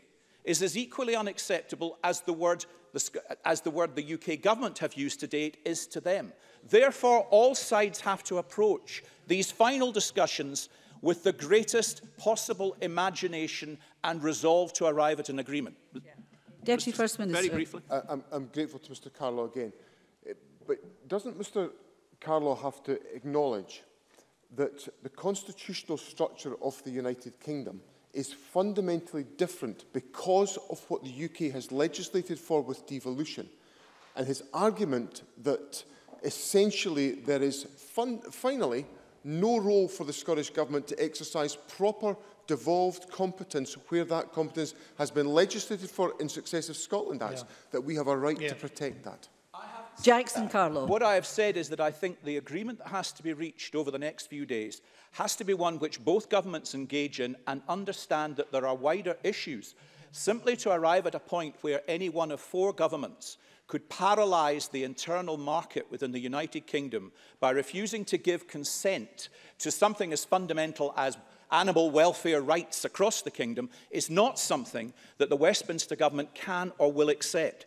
My concern fundamentally as we stand here today is that this bill is adding confusion it is consuming the narrative that needs to take place if this agreement is going to be reached. I believe that those discussions should be the primary focus of all ministers in Scotland and at Westminster over the next 10 days. It's urgent that this issue is resolved, as Adam Tompkins says, the devolution settlement, which we all want to see protected, will be undermined inadvertently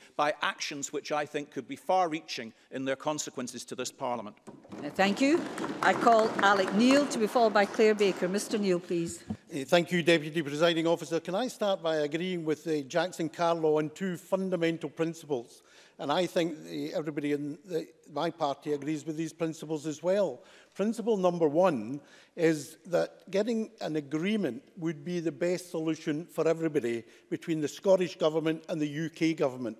And I was under the impression as a backbencher that that's the direction that everybody was trying to head in. And the second point is that we all agree that the, whatever those arrangements are, they should not pose any threat to the integrity of the UK single market. And can I say that doesn't just apply in a devolved settlement. If and when Scotland becomes an independent country, I would argue that we would need arrangements between an independent parliament in Edinburgh and the Westminster Parliament to protect the integrity of the UK's single market. So it's in the interest of everybody on this side of the argument, as well as in the interest of everybody in that side of the argument, to try to get agreement. The problem is, and this is what my worry is, until last weekend, I thought that everybody was striving for the same objective that Mr Carlo wants and that we want, to reach an agreement and to do so within the next few days because time is beginning to run out.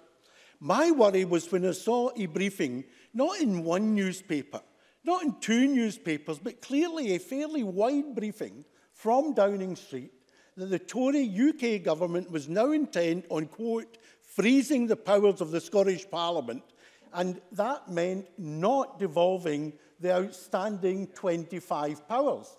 Now, that, clear, that briefing clearly was given fairly universally, and it must have been given by people who are not sharing the same objective as Jackson Carlaw and me, because that briefing certainly does not help the situation one iota. Now, during his speech, Jackson Carlaw suggested that there may have been a change of ministers. presumably primarily the loss of Damien Green, who I think got this, uh, with the replacement of David Livingstone, who, to be fair, has no experience in these matters in his ministerial background. But my worry, particularly with that briefing, is that it's not just a change of ministers. What that briefing suggested on Sunday was there's a change of policy by the UK government. And they're digging in their heels and deciding that we're not going to get these 25 powers. And that's where I come on to the speech by Adam Tompkins, because Adam Tompkins referred to contradictions and incoherence. But if I may say to Adam Tompkins, where I think there's incoherence in his position is that, and he pointed this out in his speech, the Scottish Tory group, the Scottish Tory party, signed up to the unanimous decision taken in this Parliament that we wanted all 111 powers that were eh, currently in Brussels devolved to the Scottish Parliament where they belong after Brexit. And I think we had, thought we had unanimous agreement on those points. I, however, it would appear we do not have unanimous agreement on those points. And what this is about is these outstanding 25 powers. This bill has nothing to do with whether you voted for or in favour of Brexit or not. It's about the implications of Brexit for this Parliament's powers. Now, my view, I will in a minute, Joanne, my, my view is very clear, and that is that there is a way forward if everybody is prepared to be reasonable and there is no change of policy, which there appears there might be in London. And that is for us to agree basically on two things. One is that the outstanding 25 powers, like the other 86 powers, be repatriated to this Parliament from, if you like, from whence they came in terms of the law on devolution. They are devolved powers. Those powers belong to this Parliament. They should come back to this Parliament. But in return, because we do need to give reassurance, and this is where I think Jackson Carlaw has got it wrong in terms of the word consent, uh, meaning veto. I don't think that's what the Minister intended, and I don't think that's a correct interpretation. I think basically, and I'm sure the Minister will clear that up in his speech, but I think clearly there has to be a bit of a quid pro quo. There has to be some kind of dispute resolution procedure, whereby if there is a belief that a particular measure by a devolved government or a Westminster government is going to adversely affect the UK single market's integrity, there has to be a procedure, uh, which eventually, if agreement can't be reached politically, is resolved by a an agreed dispute resolution procedure. And for the life of me, I do not know why this poses such a major problem to the UK government. We gone right back. I'm unfortunately old enough to remember the original devolution bills that were presented by the Wilson and Callaghan governments.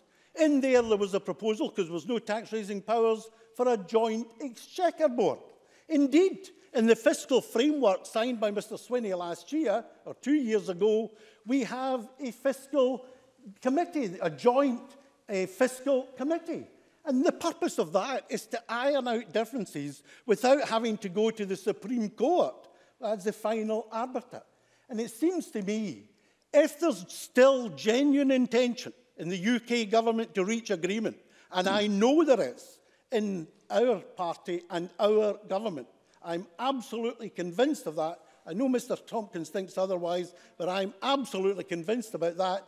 Then all reasonable people could come together and reach an agreement that we can all sign up to. And that, at the end of the day, is what the Scottish people want. With your permission, I'll take Miss Lamont's, or my I, not I'm got afraid your permission. not. I, okay. I, I, I think Miss Lamont's down to. Uh, are you down to speak, Miss Lamont?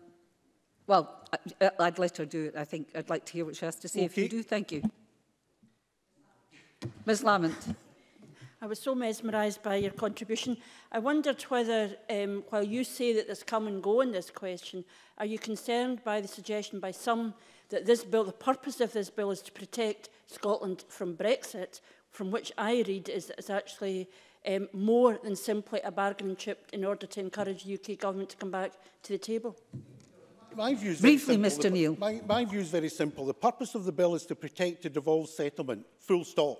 That's what the purpose of the bill is. Nothing to do with Brexit or otherwise per se. It's about protecting the devolved settlement. And I believe if the kind of solution I've outlined is implemented, we'll do exactly that. Thank you. I call Claire Baker to be followed by Tom Arthur. Ms Baker, please. Um, thank you, Deputy Presiding Officer. Um, it's fair to say that this is unlike any stage one I have participated in during my time in Parliament. Usually we have a few weeks in committee hearing important evidence, a chance to question the Minister and the time to consider a detailed report which is then recommended to Parliament. With this bill we have not had time to pause or to catch breath. This does lead to legitimate concerns over effective scrutiny. No one wants the Parliament to be passing poor legislation which can lead to more problems than solutions and then often have unintended consequences which can cause future difficulty. I do appreciate that there have been efforts to address some of these concerns. A number of committees, including my own, are taking evidence on the bill this week and next week. I understand that the official report will be concentrating on the evidence sessions at committee to ensure that they are available to all members as soon as possible. It has also been helpful to consider the evidence previously taken by the Finance and Constitution Committee into the UK Government's EU withdrawal bill. Um, I welcome the Minister's commitment to provide briefings, but so far they are largely a summary of information we already know. I hope we have more substance going forward. And while we have the policy memorandum, the government does need to be more transparent about where the points of contention with the UK government are. I recognise that the Minister wants agreement from other partners on this, but I believe that MSPs would benefit from knowing more about where the disagreement lies. The assurances from the UK Government are unconvincing, but we need to know more detail about the disputes. I am most grateful to the Law Society for their briefing in advance of the debate. They identify a number of areas where greater clarity is required. The bill before us does mirror the EU withdrawal bill, but as the Law Society identifies, it does then replicate many of the issues which affect the EU withdrawal bill – The Law Society describe this bill as sharing the challenges of being complex, often difficult to interpret and sometimes lacking clarity. We should take the opportunity to alter the bill and look at ways where we could improve it.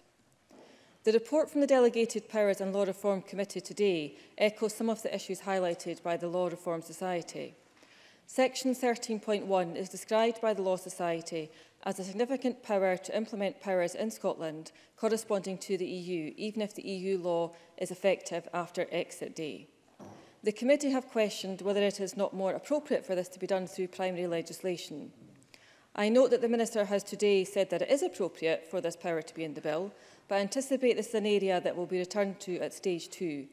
There are serious concerns that parliamentary scrutiny would be lacking in areas where it is necessary.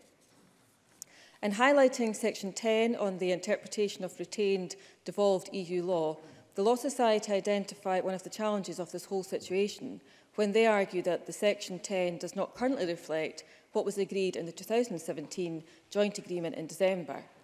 The Brexit process is so fluid, but it is important that the legislation is accurate, and perhaps the Minister could comment on these points in closing.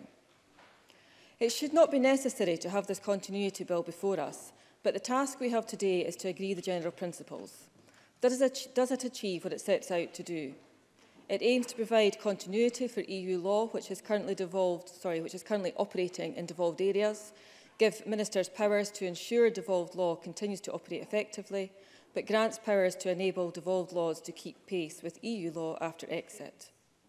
It is one stop on the Brexit journey, But we shouldn't forget that even accepting this principle was a small victory, giving a degree of continuity and recognising the strong ties there are with our legal, social and environmental laws.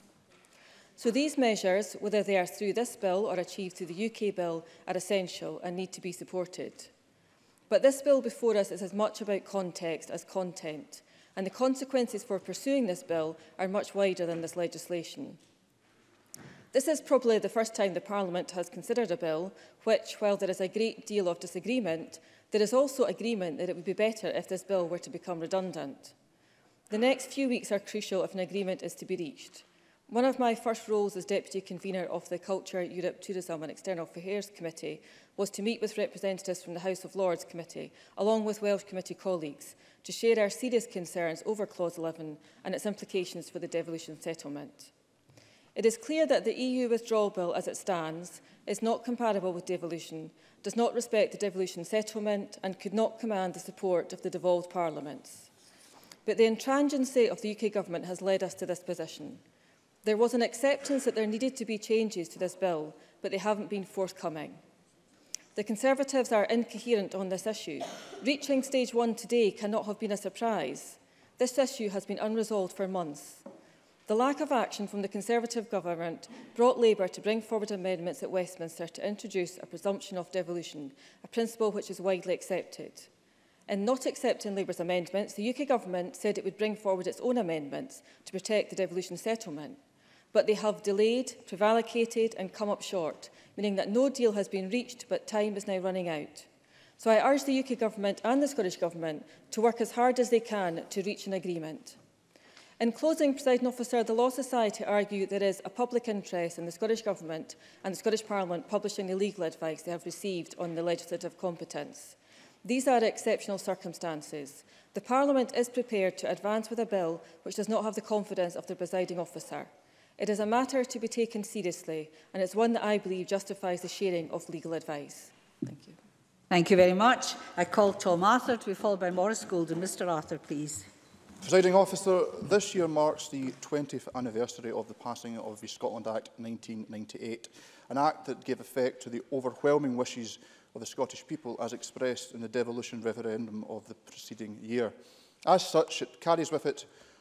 a weight and political legitimacy, perhaps more normally associated with a written constitution.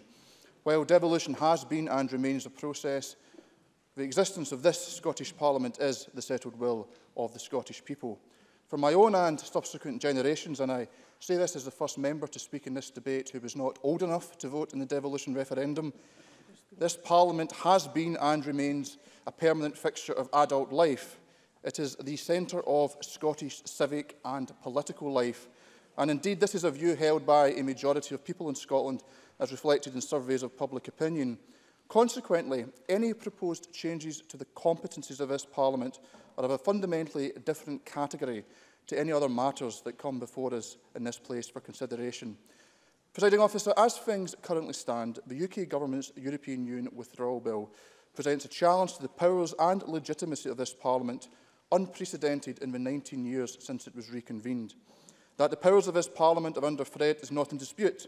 The Finance and Constitution Committee of this parliament reported with unanimity that, that, that the proposals contained within Clause 11 of the European Union Withdrawal Bill, as introduced by the UK Government, are, and I quote, incompatible with the devolution settlement in Scotland and fail to fully respect the devolution settlement. Presiding officer, it remains the case that the best way to remove this threat to Scotland's devolution settlement is for Clause 11 to be amended to the satisfaction of this Parliament and legislative consent to be subsequently granted for the EU withdrawal bill. This represents the most efficient and elegant solution to the current constitutional impasse. However, this can only be achieved if the UK government grasps that this debate fundamentally concerns a matter of principle, namely that decisions regarding powers devolved to this Parliament must remain with this Parliament. If I can make a bit more progress, please. An agreement should be achievable. However, The actions of the UK government since June 2016 do not give cause for optimism. Meetings of the GMC have often been irregular. Assurances of a joint approach ahead of Article 50 were shown to be hollow, with the UK government's position presented to the devolved governments as a fait accompli, and amendments proposed by the Scottish and Welsh governments which could have allowed legislative consent were dismissed by the UK government. From this long, dismal sequence of repeated rebuffs it is clear that the UK government does not view the UK as a partnership of equals, as Theresa May once described the relationship between the UK and devolved governments. And rather than Scotland being invited to lead the UK, the UK government now seeks to impair this Parliament's ability to lead Scotland. Presiding officer, while time does remain for an agreement between the Scottish and UK governments to be reached, we are now running out of track as the EU withdrawal bill will shortly be entering its concluding stages at Westminster. Therefore, it is incumbent upon the Scottish Government and this Parliament to make preparations for all eventualities. The introduction of the UK withdrawal from the European Union Legal Continuity Scotland Bill represents a correct and proportionate contingency measure should agreement not be reached. It is correct in that it will enable legal continuity post-Brexit and safeguard the powers of this Parliament. It is proportionate in that it contains a mechanism for its own repeal should agreement on Clause 11 be reached between the Scottish and UK governments. On the issue of the timing of the introduction of the Continuity Bill, had it been introduced prematurely, the Scottish Government would no doubt have been criticised, with perhaps some justification for attempting to prejudge the outcome of negotiations with the UK Government. However, the bill has been introduced as late as reasonably possible, when account is taken of both the four-week lying period prior to royal assent that the bill would face if enacted, and the earliest date that the European Union withdrawal bill could be passed at Westminster. Presiding officer, this being a stage one debate, we are of course being invited only to approve the general principles of the continuity bill. However, I do wish to state that I recognise the legitimate concerns of members regarding scrutiny. I therefore welcome the work of both the Delegated Powers and Law Reform Committee and the Finance and Constitution Committee, which is already underway. And I further welcome the, role, the formal role for the Finance and Constitution Committee at Stage 2. This is, of course, not ideal. However, nothing in the entire Brexit process can be described as ideal. Presiding officer, this is a bill I would rather we were not required to consider. I voted Remain along with the majority of my Renfrewshire South constituents and the overwhelming majority of the Scottish people. Being stripped of our European Union, European Union citizenship against our will is an offence to democracy in Scotland. To be faced with a UK government seeking to unilaterally strip powers from this Parliament is intolerable. Presiding officer, the Finance and Constitution Committee was clear. Clause 11 represents a fundamental shift in the structure of devolution. It is incompatible with and fails to fully respect the devolution settlement and the committee is not in a position to recommend legislative consent on the withdrawal bill. The fundamental issues that led to the committee reaching these conclusions have not, as of yet, been resolved. If ultimately we must withhold legisl legislative consent, then we will require our own legislation to safeguard this Parliament's powers and to ensure the stability and continuity of our laws after Brexit. It is on that basis and with regret that we find ourselves in this situation, but I support the general principles of the UK withdrawal from the European Union Legal Continuity Scotland Bill. Thank you, Mr Arthur. I call Morris Golden to be followed by Stuart McMillan. Mr Golden, please. Uh, thank you, Presiding Officer. In 1997, the people of Scotland voted to establish a new Scottish Parliament. Like Tom Arthur, I was not old enough to vote in that referendum, but I have the utmost respect for the institution that it created. A parliament, I'd like to make some pro progress, Mr Findlay, thank you. Uh, a parliament that we have the honour of serving in, a parliament that should ensure that Scotland prospers, a parliament that respects the law which created it, and a parliament which acts in accordance with both customary and codified legal practice. What we have before us today, presiding officer, is a bill which fails in every respect. It is out with the competence of this Parliament. It is poorly constructed. It won't be properly scrutinised. It risks Scotland's prosperity and it is a salacious attempt to launch a second independence referendum campaign.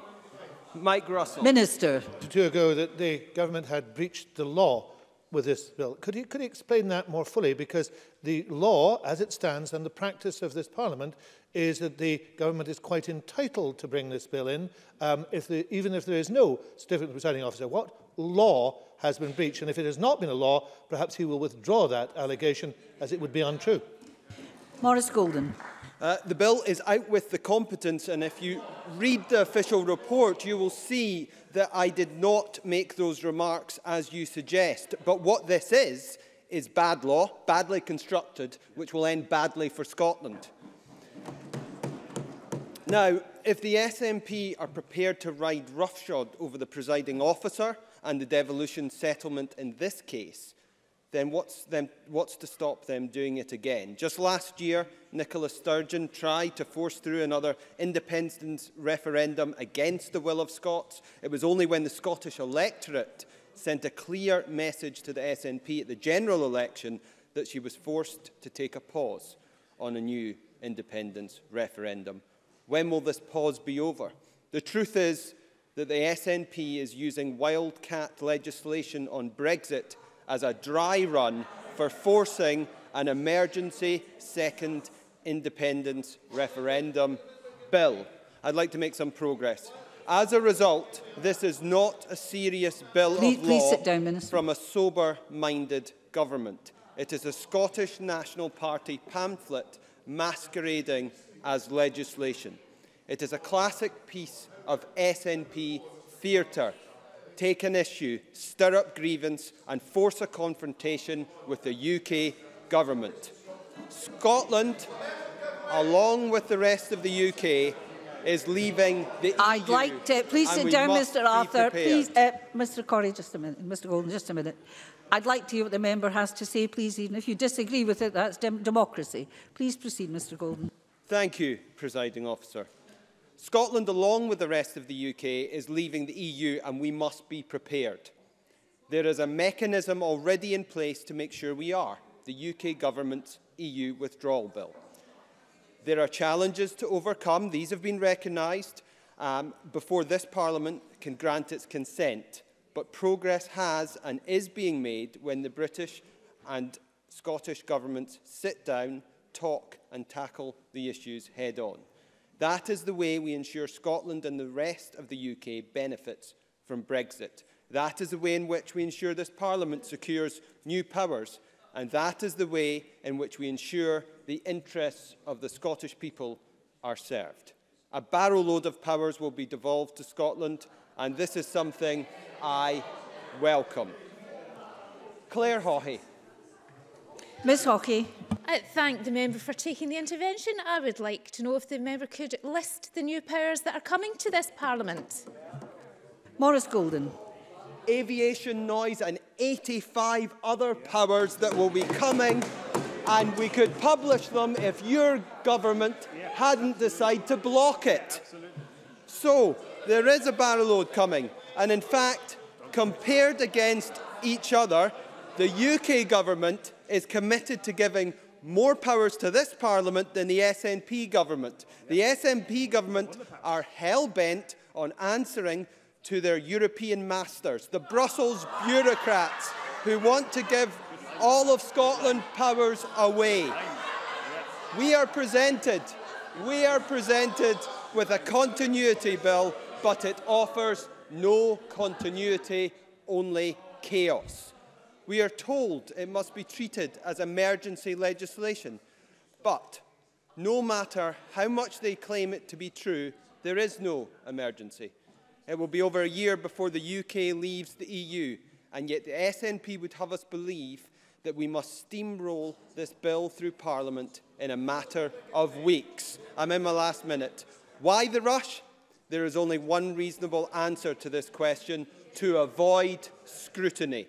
And whenever a government tries to avoid scrutiny, it cannot be said that they are acting in the public interest. What do they have to hide? Again, there is only one reasonable answer to that question. They want to hide the fact that they don't want negotiations with the UK government to be successful. Let me end on a more positive point. Cool heads must prevail, and there is no time for putting party before country with constitutional games.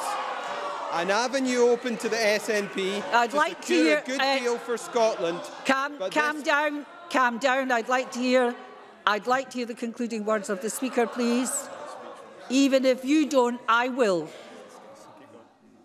Please, have you concluded? Not quite yet, presiding. One officer. more sentence, Mr. One Golden. One more sentence. An avenue open to the it open to the SNP to secure a good deal for Scotland, but this bill puts it at risk. And I say to the SNP, get round the table with the UK ministers, discuss, debate and do a deal. That is what Scotland needs and that is what you must deliver. Thank you. I call Stuart McMillan, followed by Rachel Hamilton, please. Thank you very much, Presiding Officer. I'm going to try and take us back into the real world now after that contribution. Yeah. Presiding Officer, I reluctantly welcome this bill and I will be voting for its progress at 5pm this evening. And I'll explain why I use the term reluctantly. Presiding Officer, this Parliament is in a situation not of its own making. If the UK Government were acting like petulant children, then an agreement to safeguard the powers of this Parliament would be reached, but the power grab is well and truly underway. Our constituents need to realise that this bill before us in this Scottish Parliament uh, need to realise that this, what the Scottish Government are trying to do is actually deal with the crisis being wrought upon this Parliament and Scotland by the Westminster elite marching to the beat of that DUP drum yet again and also the 60-plus Tory MPs with a vision of hard Brexit. It's clear that the UK is in crisis. It's been mismanaged and the lack of detail and vision about the UK when out of the EU offered thus far by the Prime Minister shows the contempt that she actually has for the entire UK-wide population.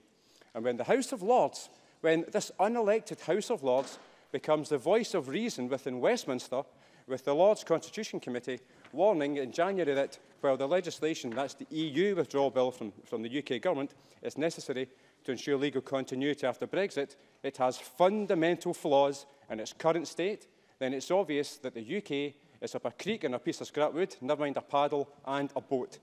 This is why this, is why this Scottish Government con Continuity Bill is necessary. It's to try and bring about some stability to the Scottish economy post-Brexit.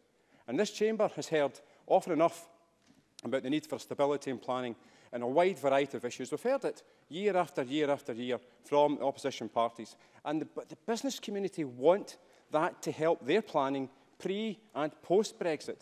Now, that is the common sense approach.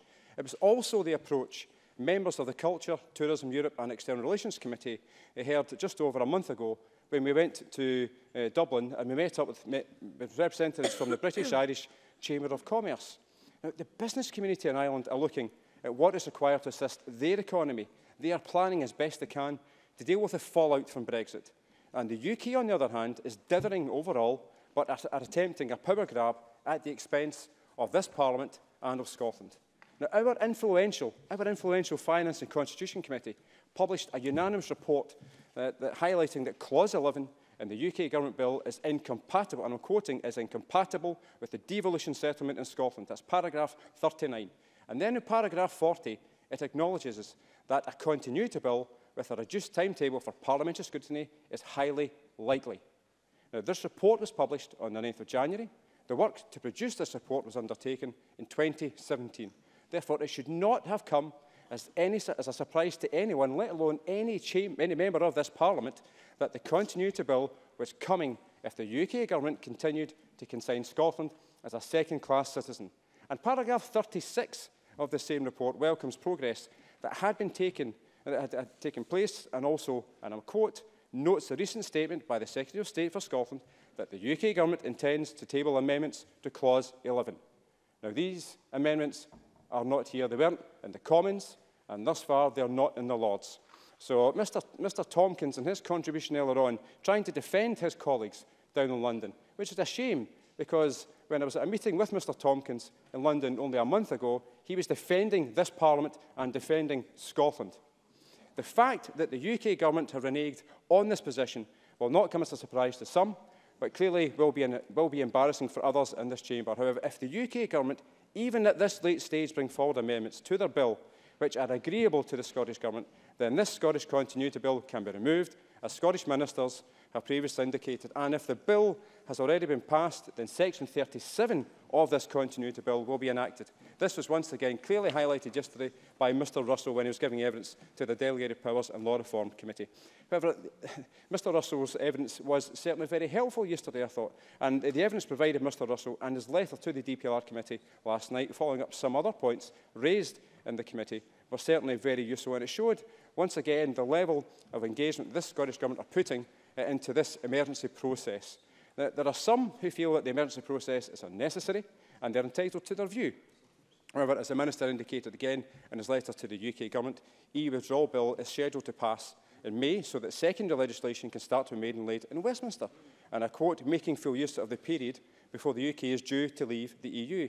It's therefore a common sense approach for the Scottish Government to actually work in tandem to ensure that this Parliament is not left behind.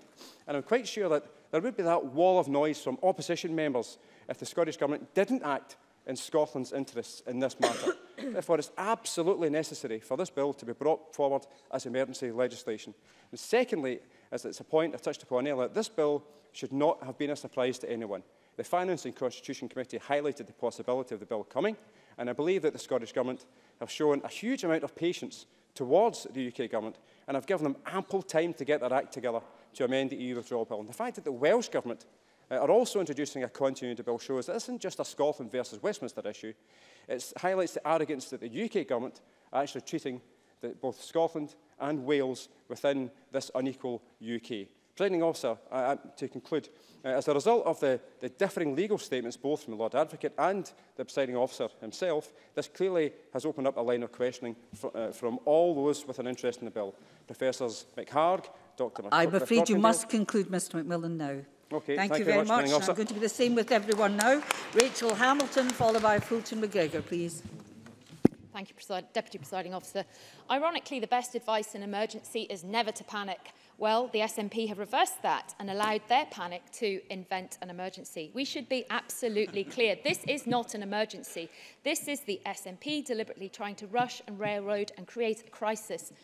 where there is none. It is the result I will, but just can I just make a little bit of progress? It is the result of a muddled SNP government. First, it's battling with the reality that the United Kingdom has voted to leave the European Union. The SNP will cry that Scotland didn't vote to leave. Well, neither did I, but here I am accepting the democratic decision. I'll take the intervention. Ash Denham.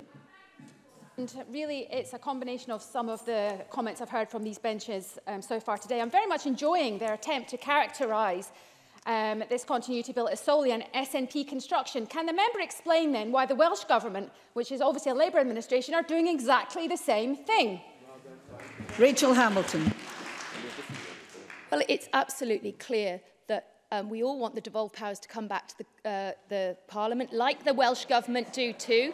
The Welsh Government have a different uh, devolution settlement to us, um, so their situation is, is different. So we cannot compare apples and pears.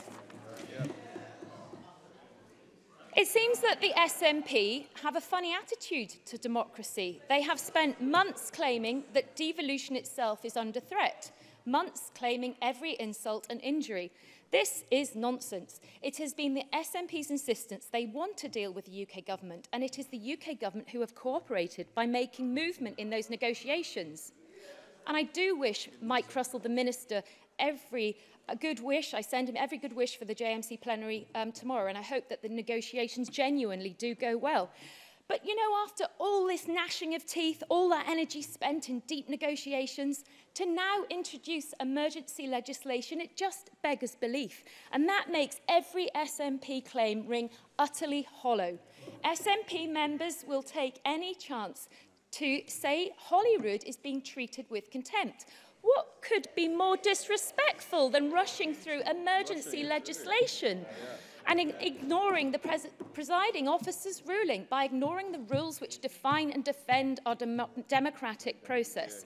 The SNP can never again claim any credibility on protecting devolution. Once again, we have an SNP government that will force through legislation to get what it wants. And what this SNP government wants more than anything else is independence, a second independence referendum.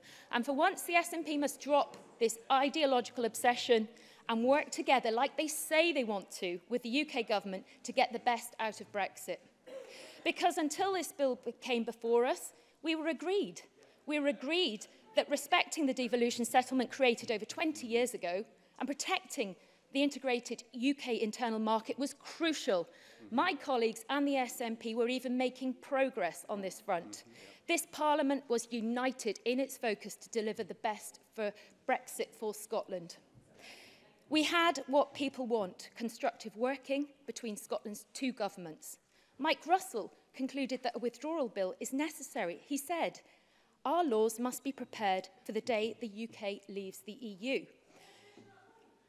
I will from Christina McKelvey. Christina McKelvey that um, Rachel Hamilton said that, um, you know, people, eh, the, the governments were working together and they were doing what people want. I know my constituents wanted to remain. So what does she mean by that? Rachel Hamilton. The vote wasn't about Scotland leaving the EU. The vote was about the UK leaving the EU. Democracy. The bill, however, shows a retraction in the sentiment to work together, a step back from that constructive process. And we should be clear, that was a choice by the SNP. And that choice has the potential to undo all we've been working together towards, respecting the devolution settlements, protecting the integrated UK internal market on which our pros prosperity hangs. This bill, as presented, threatens both of those key objectives, I was pleased to hear the words from Jackson Carlo and Alec Neal committing to achieving common objectives. But take, for example, food labelling. We've got to protect the needs of Scottish food producers. We must work with the UK government and other devolved powers to ensure their markets are not affected by divergence, and this may require a common framework. And at the same time, it may be superfluous because this bill cannot work before Brexit, as James Wolfe himself told this Scottish Parliament. And I quote, the bill does nothing that will alter EU law or undermine the scheme of EU law while the UK remains a member of the EU. Rushed legislation, as we all know, take the land reform bill, will not get the best Brexit for Scotland. Rushed legislation in which this SNP government is famous for never achieves what it sets out to do. No rushed legislation allows this Scottish Parliament to fully scrutinise the bill, as has been mentioned many times today, making a mockery of what we are elected and responsible to do here. This emergency bill is a means to bypass parliamentary scrutiny and simply make the Scottish Parliament a rubber stamping process for what the SNP demands, no matter how unnecessary or damaging it may be. Deputy Presiding Officer, the reason this bill cannot be delivered are simple. It is unnecessary, it is rushed, it damages Parliament, belittles our role as parliamentarians, and as a result of the SNP's desire for constant constitutional chaos, leaving the EU in 2019 means the power won't come to the UK or Scottish Government before that time, cements the fact that the SNP's true intention behind the bill is to damage the Brexit process, undermine the Scottish Parliament and further their mission to break up Britain. Thank you. I call Fulton McGregor to be followed by Neil Bibby. Mr Mr McGregor, please. Officer, as usual with the Tories, it's all talk and no action. Almost every Tory in this Parliament promised to stand up for Scotland and the interests of the people they claim to serve. But when the time came for action, they voted against proceeding with this legislation that ensures our Parliament isn't stripped of the powers when the day comes for the UK to leave the EU. I, like the vast majority of members in this Parliament and, and at the UK level as well, campaigned for Remain And as others have said, I maintain my opinion that it would be better for Scotland to continue as a full member of the European Union. However, I also accept that until the people of Scotland are given another opportunity to vote for independence, there is little I or anyone else can do to overturn the decision of the people of England to leave the EU. But it is incumbent on all of us as elected representatives to fight for the best possible outcome for our constituents and ripping Scotland out of the single market and the customs union would be a disaster. And that's not my opinion. It's what the leaked Brexit analysis for the Prime Minister said. It's important to note as well that the Finance and Constitution Committee recently unanimously agreed that the Brexit bill in its current form is unacceptable to this Parliament and that legislative consent should be withheld, branding it incompatible with the devolution settlement in Scotland. Specifically, the UK Government has identified policy areas where the restriction would have effect in Scotland, such as, but not limited to, environmental regulation, fracking licensing, land use, and public sector procurement. And it is good to hear that the Welsh Parliament has taken a similar view to ours and are calling for a similar bill to be sped through their Assembly to prevent a crisis the next day. And regardless to what Rachel Hamilton says, it is a similar situation. As it currently stands, the EU withdrawal bill would give UK ministers wide powers to make legislation in devolved areas and make devolved ministers' secondary powers narrower in scope than the UK ministers and subject to constraints such as requiring UK government consent that would not apply to UK ministers' powers. Additionally, the bill outlines that Westminster would no longer be required to legislate consistently with EU law, but the devolved legislators would. The amendments put forward by the Scottish Government in response devolved ministers' powers to be brought into line with the UK, that devolution statutes be protected from amendment by secondary legislation under the bill, and are for UK ministers to seek devolved ministers' consent before using secondary legislation powers in devolved areas. The Government has made it clear that the Continuity Bill is a backup plan And like Alex Neil, I, I believe that to be 100%, eh, and its preference is to support Westminster's Brexit bill once an agreement can be reached to drop the res restriction on competence under Clause 11. Furthermore, the Scottish Government has repeatedly indicated that it is possible to establish UK-wide frameworks through cooperation and not when imposed upon by the UK Government with no respect for the devolution settlement. Therefore, it would be an abdication of responsibility if everybody in this chamber to sit back and hope that the Prime Minister and the Scottish Secretary will be willing or able to make the necessary changes to allow this Parliament to reasonably grant, grant consent. The Tories opposed the introduction of this bill while simultaneously agreeing that the Parliament could not possibly grant legislative consent to the Brexit bill as it currently stands. Their contradictory stance would have Scotland in a crisis situation when the time comes to leave the EU, with hundreds of laws relating to agriculture, fisheries, environmental protection suddenly disappearing. It's time for Ruth Davidson to show the leadership that she claims she has and get our Scottish Tory MSPs and MPs to do what it says in the tin, stand up for Scotland. EU agricultural policy covers market regulation, rural development, food law, animal health and quality policy for agricultural products.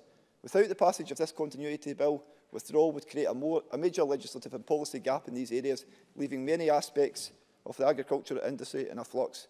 For example, payments are currently made to Scottish businesses under the CAPS programme of voluntary coupled support to help beef and sheep farmers maintain the social and environmental benefits that their livestock bring.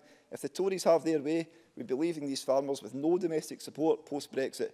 Therefore, the Scottish Parliament needs the, ju the jurisdiction to continue reviewing legislation specific to the interests of Scotland.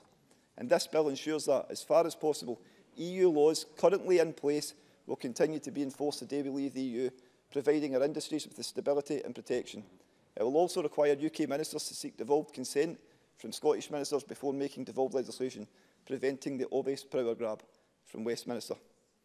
Furthermore, this bill provides a keeping pace power to allow Scotland's laws to continue and, where appropriate, align themselves with EU law after withdrawal and gives the Scottish Government an enhanced role in scrutinising proposals for changes to laws as a result of withdrawal. It's important to note that despite the emergency treatment of this bill, which is highly justified considering the urgency of passing it before the withdrawal bill was passed. Despite that, the bill is still being intensely scrutinised and the Brexit Minister has offered to provide evidence at the committees in the coming weeks, as he said earlier.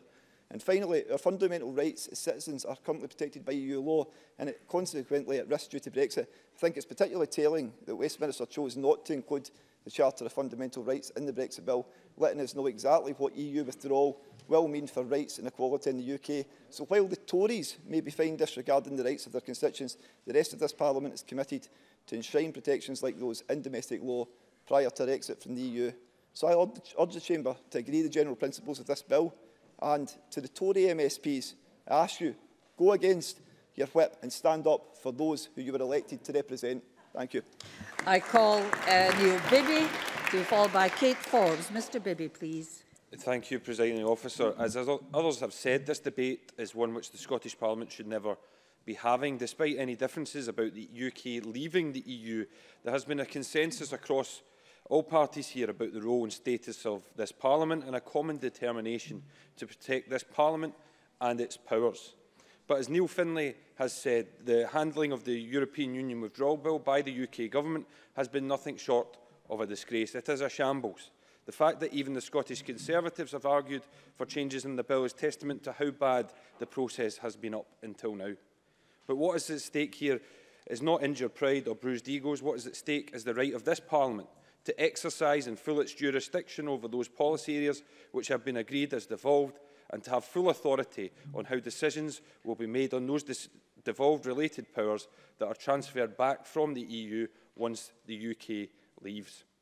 So it is a matter of profound disappointment and regret that we are having this debate. As Neil Finlay also said, the Scottish Labour Party believes that the Tory UK government should, as a matter of urgency, bring forward amendments to its bill to avoid us having to consider our alternatives. But in the meantime, the challenge for us is to consider what those alternatives might be. The conflicting legal opinions expressed by the presiding officer and the Lord Advocate illustrate the complexities of these issues and highlight the potential for this bill to be challenged in the courts. We are in uncharted territory and it is not comfortable for this Parliament to be disagreeing with advice from its presiding officers. Yeah, taking that position. Bruce Crawford. issue of challenging um, legislation passed in this place in the courts. It's, it's of course true that any legislation that we pass in this in this place can be challenged in, in court at any time. Neil Bibby. I accept that, uh, uh, uh, Bruce Crawford, but we're not discussing any legislation and not any legislation uh, receive, uh, receives advice from the residing officer saying it is not competent. So we need to tread very carefully and make sure that this unprecedented bill is being rigorously tested for competence, content and effect. Probably more so than any other bill ever scrutinised by this Parliament, we need to demonstrate that it's not a political stunt or an overreaction to an incompetent and intransigent Tory government. As a starting point, it would be helpful if both the presiding officer and the Scottish Government were to publish their respective legal advice. The Law Society of Scotland have said it would be in the public interest. This is an exceptional bill and these are exceptional times. In these exceptional circumstances, it is surely in the public interest that the relevant legal opinion is put into the public domain. In exceptional circumstances, the ministerial code is clear uh, that this is allowed. This Parliament should be able to reflect on the arguments both for and against the competence of the bill. Presiding officer, the Parliament has been asked to give legislation that is entirely without precedent the maximum scrutiny in limited time.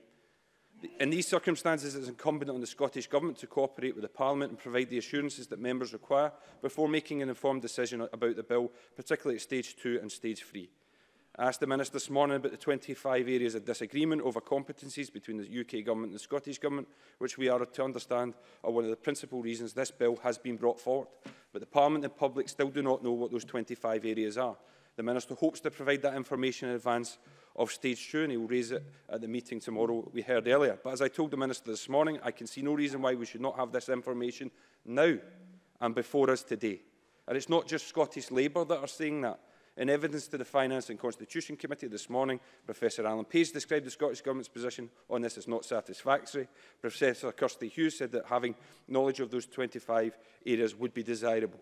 I would therefore ask the Scottish Government to reflect on their position and publish this information to the Parliament and, more importantly, to the public. Section 13 of the bill, as has been discussed, empowers ministers, Scottish, Scottish ministers to make provision corresponding to EU law following our exit. Already there has been considerable debate about this section of the bill. It hands significant powers to Scottish ministers. It would allow the Scottish Government to implement laws in Scotland which correspond to EU law, even if that EU law takes effect after exit date. There's been a lot of debate about it, and uh, we heard evidence again at the Finance and Constitution Committee this morning. The Law Society says that this section of the bill lacks clarity. Also, the, earlier today, Professor Aileen McHard of Strathclyde University alluded to the confusion about whether this is a keeping pace power or whether it is included in the bill for some other reason that would be harder to justify. And another witness, Professor Page, warned that this amounts to a potentially major surrender by the Parliament of its legislative competence and called it a thoroughly bad idea. And I think we should take heed of those uh, serious warnings. The UK government's withdrawal bill has been rightly described as a power grab, not just because of its dispute with the devolved administrations, but because it could also allow the executive uh, to sideline the UK Parliament. Just as the role of Parliament must be respected by the UK government, so too must the role of this Parliament be respected by the Scottish government. The Minister must listen and address the concerns that have been expressed about this section in particular of the bill going forward. And I'm pleased to hear Patrick Harvey saying that the Greens are open-minded uh, on, on amendments uh, in this area as well. I think that's very important. Presiding officer, like others on the Labour benches, I have reservations about this bill, reservations about the rushed nature of the bill, the time, limited time available for consultation and the power it would put in the hands of ministers rather than the hands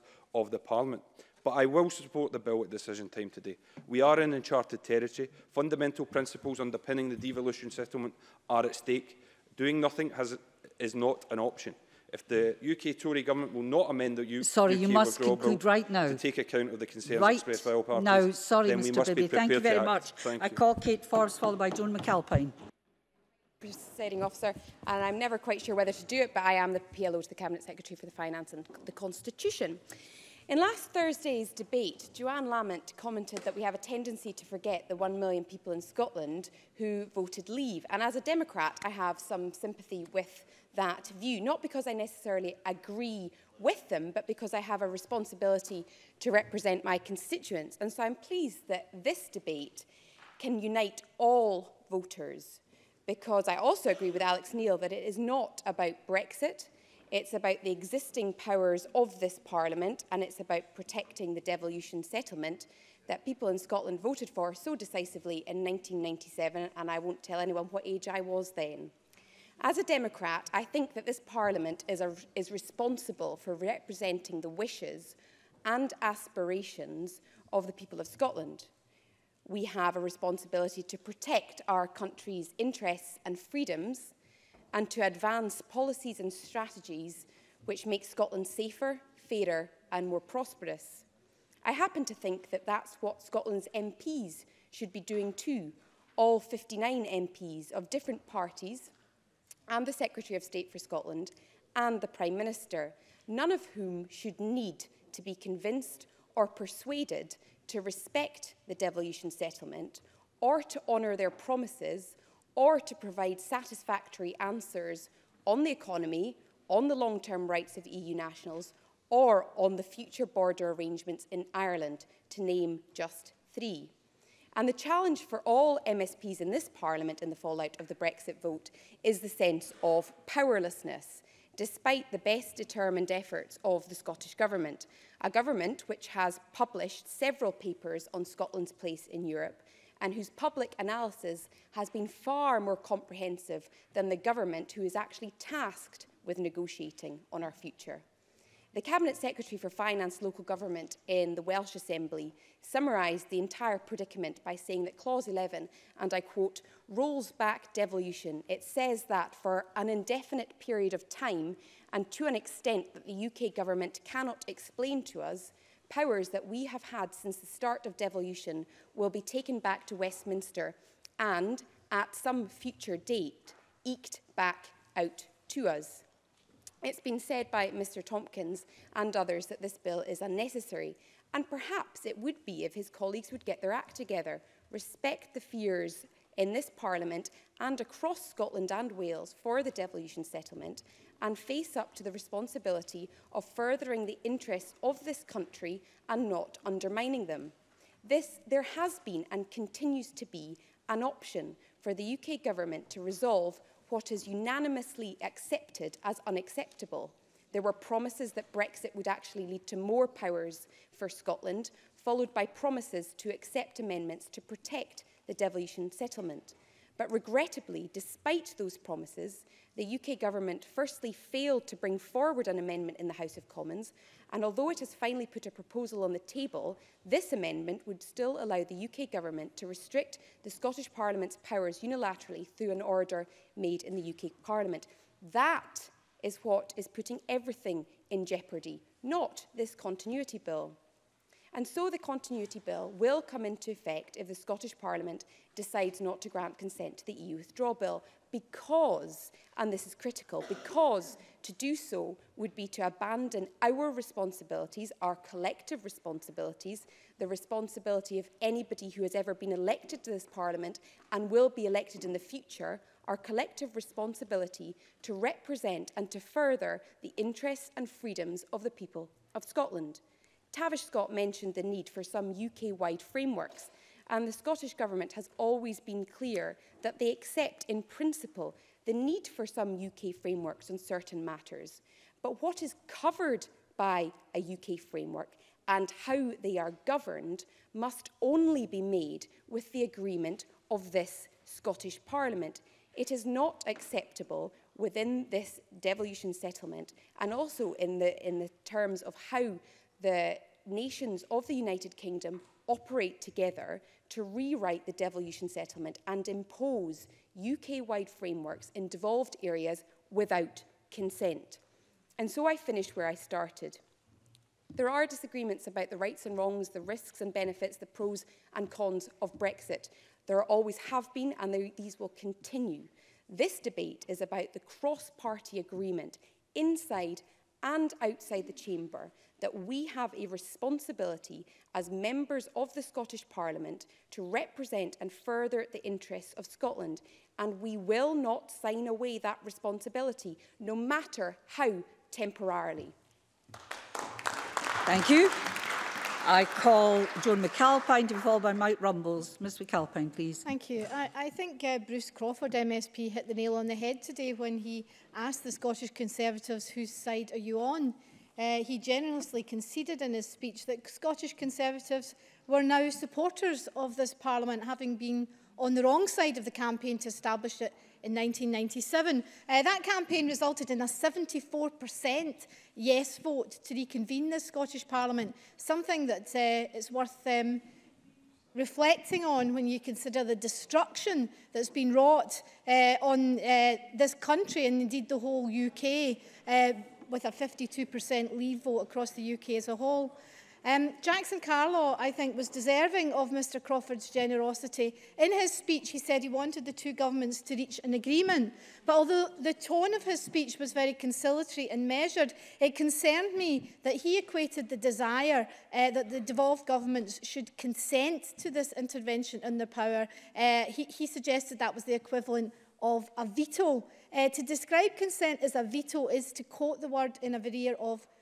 hostility, in my view. And I couldn't help but note that um, Michelle Ballantyne, MSP, also used the word veto today when her and I conducted an interview with ITV Border this morning. So That suggests to me that the concern expressed by Alec Neil that there's a very hostile briefing emanating from the UK Conservatives, um, which is deeply confrontational to, uh, to devolution, is somewhere out there. Now, I don't think that ja Jackson Carlaw for a moment is hostile to devolution or, or this Parliament. Uh, as a member of the Culture, Tourism, Europe and External Relations Committee, he signed up to our Brexit report's conclusion, which I've quoted before, but I make no apologies for quoting again. And that conclusion said, we believe that any power currently a competence of the EU that is to be repatriated after Brexit and which is not currently listed in Schedule 5 of the Scotland Act 1998 should be fully devolved alongside a funding mechanism resulting in no detriment to Scotland. Of course, this has not happened And the Scottish Conservatives... Yes? Michelle Ballantyne. You were saying very clearly that you don't think that consent constitutes a veto. So if the Scottish Parliament or the Northern Irish Parliament or the Welsh Parliament didn't give consent to something, what do you call that?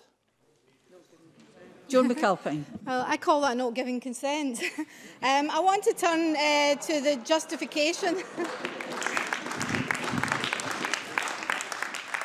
that the Scottish Conservatives have brought forward to justify this act of vandalism against this Parliament. They repeatedly suggest that uh, only uh, by staging this power grab can they ensure free trade continues across the UK itself. But as the Minister, uh, Michael Russell, said to this chamber last week, There is no single market in the UK as the UK government has presented it. There's a uniform market, we all trade together, but we have different arrangements when those are required and when the powers of this Parliament or those of the Welsh Assembly make that necessary. As the Minister noticed, there's considerable diversity within the UK right now. Uh, corporation taxes uh, in Northern Ireland and income and property taxes here, the ban on fracking here, minimum alcohol pricing, and critically our refusal to open up the Scottish NHS to market principles as in England.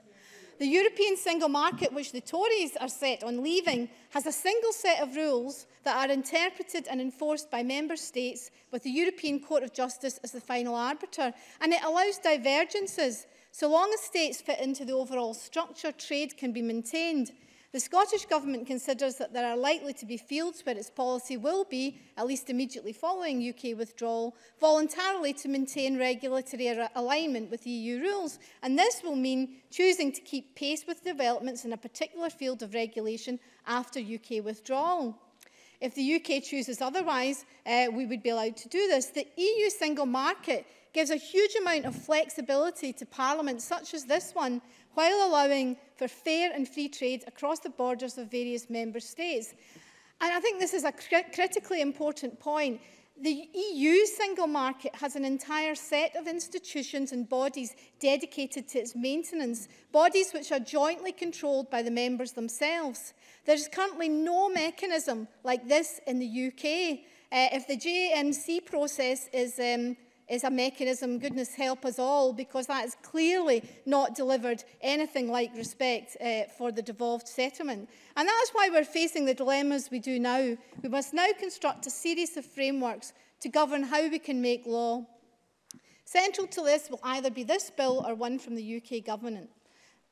Thus far, the UK government has had many warm words, which are welcome, but little concrete action and this Parliament's Constitution Committee concluded unanimously that Clause 11 was incompatible with the devolution settlement, yet it still stands.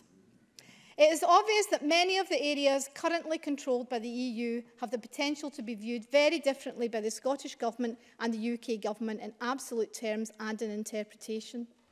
One pertinent example is the cultivation of uh, GMOs. This is regulated at EU level under the Deliberate Release Directive and from 2015 has been possible to restrict the cultivation of such crops. We in Scotland enjoy the benefits of this and have, along with 19 member states, en ended the cultivation of GMOs here in Scotland. The Welsh and the Northern Irish governments joined us, though England did not. Where will we stand post-Brexit? I wish I'm I, afraid, or frankly, I'm afraid, the UK I'm afraid you must conclude. could answer. Thank and you. no, no, you must conclude. You must conclude. Please sit down. Thank you. I call Mike Rumbles, please. Thank, thank you. Thank you, Deputy Presiding Officer. Now, several members in this debate have made much about protecting the powers of our Parliament in this bill. That is indeed the intention of the bill, and that is why I will be supporting the general principles in the Stage 1 vote tonight. However, our job as MSPs is to scrutinise the detail of the bill – after all, the devil is always in the detail, and oh boy, is there a devil in this detail. We should be protecting the powers of our parliament.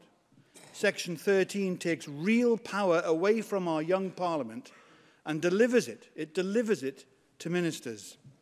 I just quote one. Regulations in the subsection 1 may make any provision, any provision that could be made by an act of the Scottish Parliament.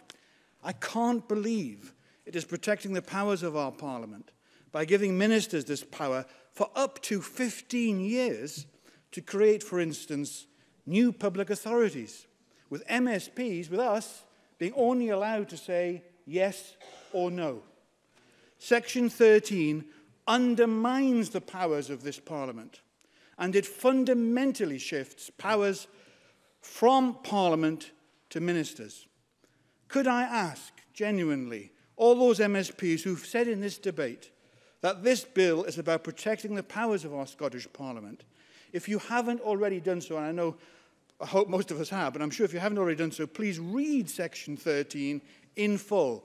And unless Section 13 is removed from the bill in stages two or three, and I'll certainly be putting down amendments if other people don't, these MSPs, our MS, those MSPs, like myself and others, who are genuinely concerned about protecting the powers of the Parliament will not be able to vote in stage three. I will, but if I have time... Patrick Harvey. I'm grateful to Mike Rumbles for giving way. Neither he nor I wished this Brexit crisis to come about, but we do recognise the extraordinary job of legislative heavy lifting that will be required if we are in fact taken out of the European Union. Is it his view that that can be done entirely with primary legislation and not with order-making powers at all? Briefly, Mr Rumbles. No, it can be done with both. What we mustn't see over the next 15 years is our powers of primary legislation being taken away, and that's the whole point of, of section... No, it's, it's 15. Read the bill properly. Yes. We only can say yes or no. For goodness sake, five and five and five is 15. Thank you, presiding officer. Thank you very much, Mr Rumbles. Uh, we move to closing speeches now and I call on James Kelly. Uh, thank you, uh, presiding officer. Uh, like many speakers in the debate, I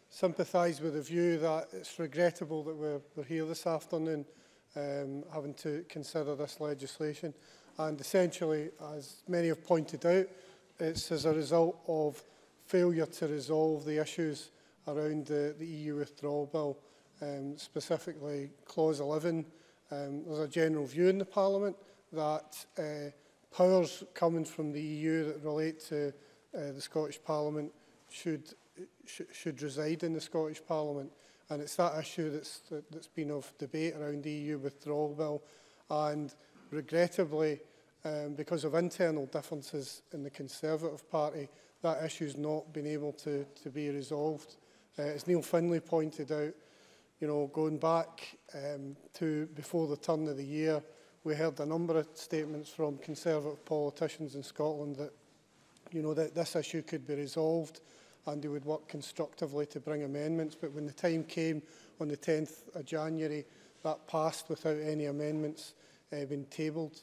Uh, and that's precipitated the, the, the, the crisis that we see today.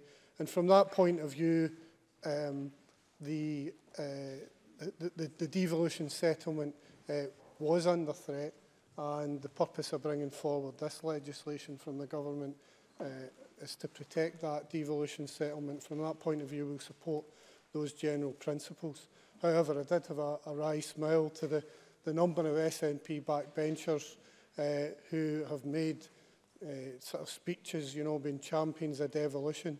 Uh, it was only this time last year that we debated having a second independence referendum and the speeches from those benches were about uh, ripping up that devolution settlement. The, there was a number of um, there's a number of uh, issues came out during the, the course of the debate. Obviously, one of the, the challenges here is legislative competence and the fact that we have a different view from the presiding officer's legal advice to that from the, the Lord Advocate uh, which uh, uh, has, has issued his certificate in support of the government's position. And listening to some of the speeches across the chamber, uh, people were kind of picking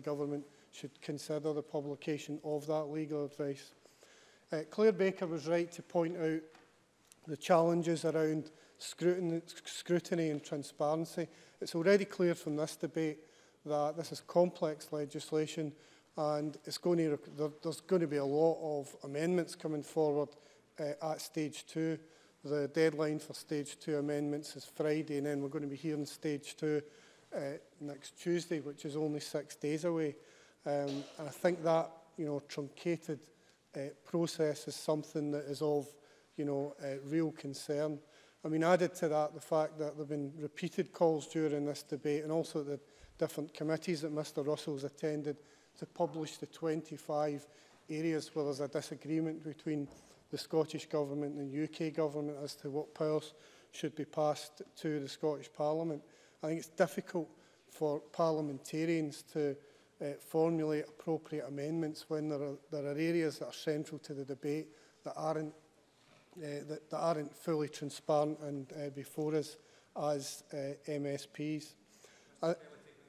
yes, Stuart McMillan. Stuart McMillan. Thank James Kelly for taking the intervention, but I'm sure that James Kelly would agree with me that, that no MSP should have been surprised that there was a possibility of a continuity bill actually coming forward to this chamber because of the actions and inactions of the UK government. James Kelly. No, I, I made that point, but now that we're actually now that we're actually in the process, as parliamentarians, there's a real challenge uh, as to how we work our way through these issues uh, if we stick to the timetable over the next two weeks. There's issues around legislative competence.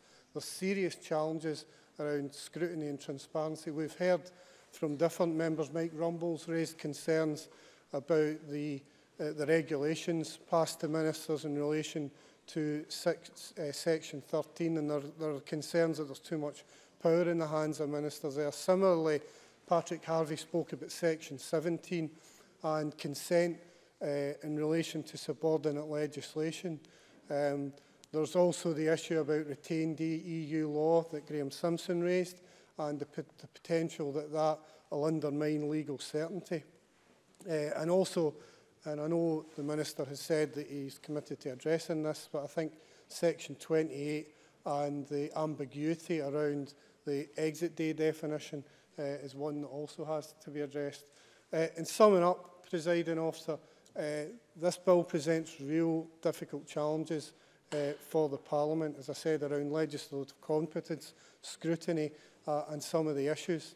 Um, I think listening to the debate, I think uh, I agree with both what Alec Neil and Neil Finlay said in that there's a real challenge here for the Tories to resolve their internal differ differences and to, to help come up with a solution to this. Because otherwise, we're in a position where, as parliamentarians, we have to navigate a very difficult parliamentary process, which there are legal issues around,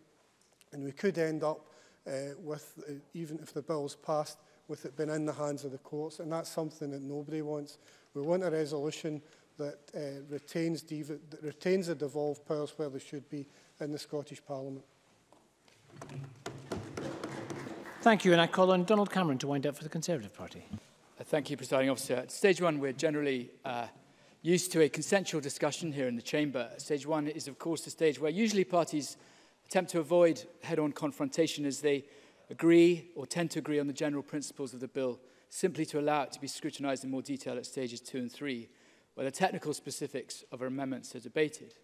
But not today, presiding officer. We will be voting against this at stage one. Let me begin with the subject of legislative competence. This is a bill which you, presiding officer, has deemed to be beyond the competence of this legislature. And yet, you have been ignored by the Scottish Government, who charge on regardless.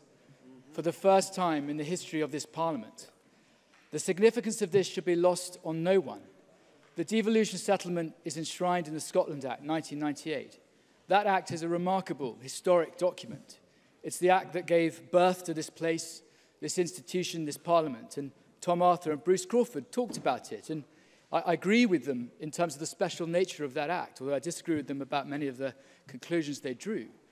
But the architects of that legislation, who carefully designed it, who understood the nuances of devolution and who calibrated the delicate balance between reserved and devolved authority and the sensitivities, involved created something of wonder.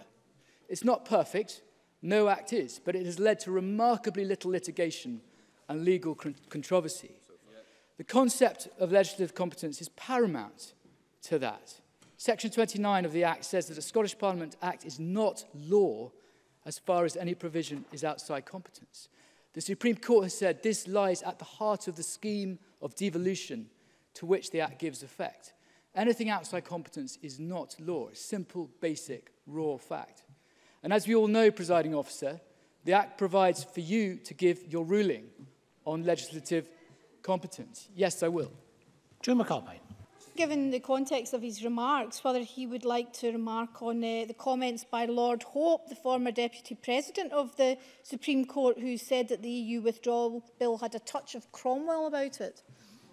Donald Cameron. Um, the members of these benches have been on, uh, are on record as saying that Clause 11 is not fit for purpose, and I don't, don't dispute that at all. But in terms of, in terms of the, the, the Act, presiding officer, the Act expressly provides for you to give your ruling on competence. It doesn't merely provide, it mandates, it's compulsory. You shall give your view. Why should you give your view, presiding officer? Is it a courtesy, a mere convention? Or could it be that legislators saw the need for the leader of this parliament, the person elected by us all to head up this institution, the presiding officer, to be the guardian of what this parliament legislates upon? according to the Supreme Court, these sections, no, I, I want to make progress. According to the Supreme Court, these sections are designed to ensure that the Scottish Parliament confines itself to the defined areas of competence. Yep. Section 31 is entitled Scrutiny of Bills. It could not be plainer. Your ruling on legislative competence is about scrutiny. It's about examining and auditing the legislation that is introduced here. Presiding officer, you are the gatekeeper. And so last week, unequivocally and explicitly, you stated this bill falls outside legislative competence.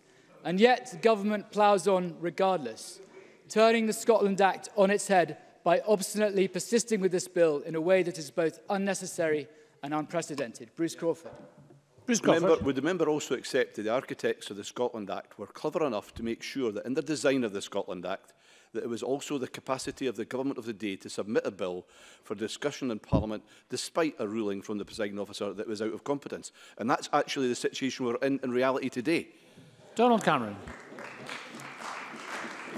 Well, the, ex the explanatory notes to the Act say that it is something that this Parliament should take into account during the passage of a bill that you describe. And the Lord Advocate can set out the legal views of the government, as he did last week. There's absolutely no procedural requirement for him to, for him to do so. Unprecedented again. But not content with these new departures, the Scottish Government goes further and goes faster. Last week, we are told that this is to be emergency legislation, going against the grain of every emergency bill passed so far. That remains a disgrace, with every other party here complicit in that decision and landing us, landing us with this farcical timetable to consider fundamental legislation on the Constitution in the space of a mere three days. No, I'm sorry, I don't have time. Labour and the Lib Dems piously expressed concern today, but they voted for it and for this timetable. Yeah. We've heard complaints from the SNP before about not having enough time to read the Brexit impact papers. We've heard complaints that the House of Commons hasn't had time to debate amendments on the UK bill. Any complaints about a three-day timetable for one of the most radical constitutional bills before this Parliament, not a whisper from the SNP benches. This isn't respecting the devolution settlement, it's discrediting it. This isn't defending the Scottish Parliament, it's attacking its very foundations. I'd like to turn to the bill in its detail, presiding officer. The Scottish Government's very own policy memorandum says it will add complexity and present serious logistical challenges a bill where no formal consultation was possible prior to its introduction. But if ever there was a need for consultation, this is it. If ever there was a need for detailed evidence, oral or written, from professional bodies, from the third sector, from the vast array of people and members of the public who could be affected, this is it. And there are serious concerns that the bill goes beyond that of the UK bill on the matter of the Charter of Fundamental Rights. This bill incorporates it directly into Scots law as it applies to devolved matters, while it is accepted from incorporation by the UK Bill. The Law Society of Scotland argued that where this takes a fundamentally different approach, the Scottish Government should be permissive with suggestions to improve or clarify the bill as it passes through the Parliament, and I hope they've taken note of that. Hi, Neil. Can I ask him the core question at the heart of where the Tory party is? What today is Tory party policy is it still to transfer the outstanding 25 powers back to this parliament or to keep them in Westminster? What is your party policy? Donald Cameron. I'll, I'll come to that in a moment. I will, I will, I will, I will. The Law Society of Scotland noted this bill introduces new categories of law like retained devolved EU law, which may make it more difficult to be certain about the law. So the spice briefing on section 4 talks about it being not being clear which rights will be captured by that section. Uh, section 13 of this bill has been mentioned before. It provides powers to the ministers to make regulations to ensure that where appropriate, Scots law in devolved areas can continue to keep pace with EU law after the UK has left the European Union. There is currently no comparable clause in the UK bill. The 15 years nature of, of one of the subsections is of grave concern. Mike Rumbles is absolutely right. It undermines this parliament.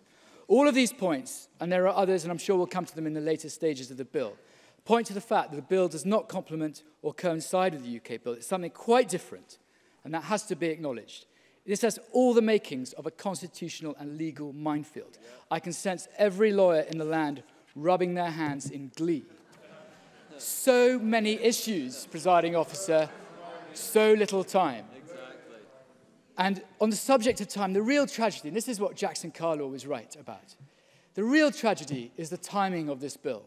Negotiations are at a crucial, delicate stage. The two governments are close to agreement, close but with an enormous, important issue to determine. And at this sensitive moment, at the very moment when maintaining trust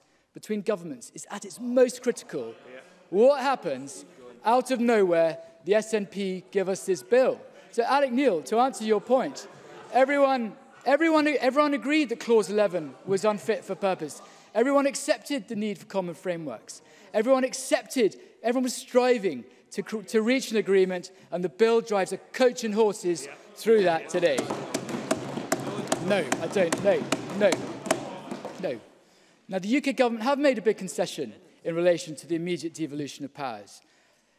This was a major move towards the SNP. It marks a substantive change in position.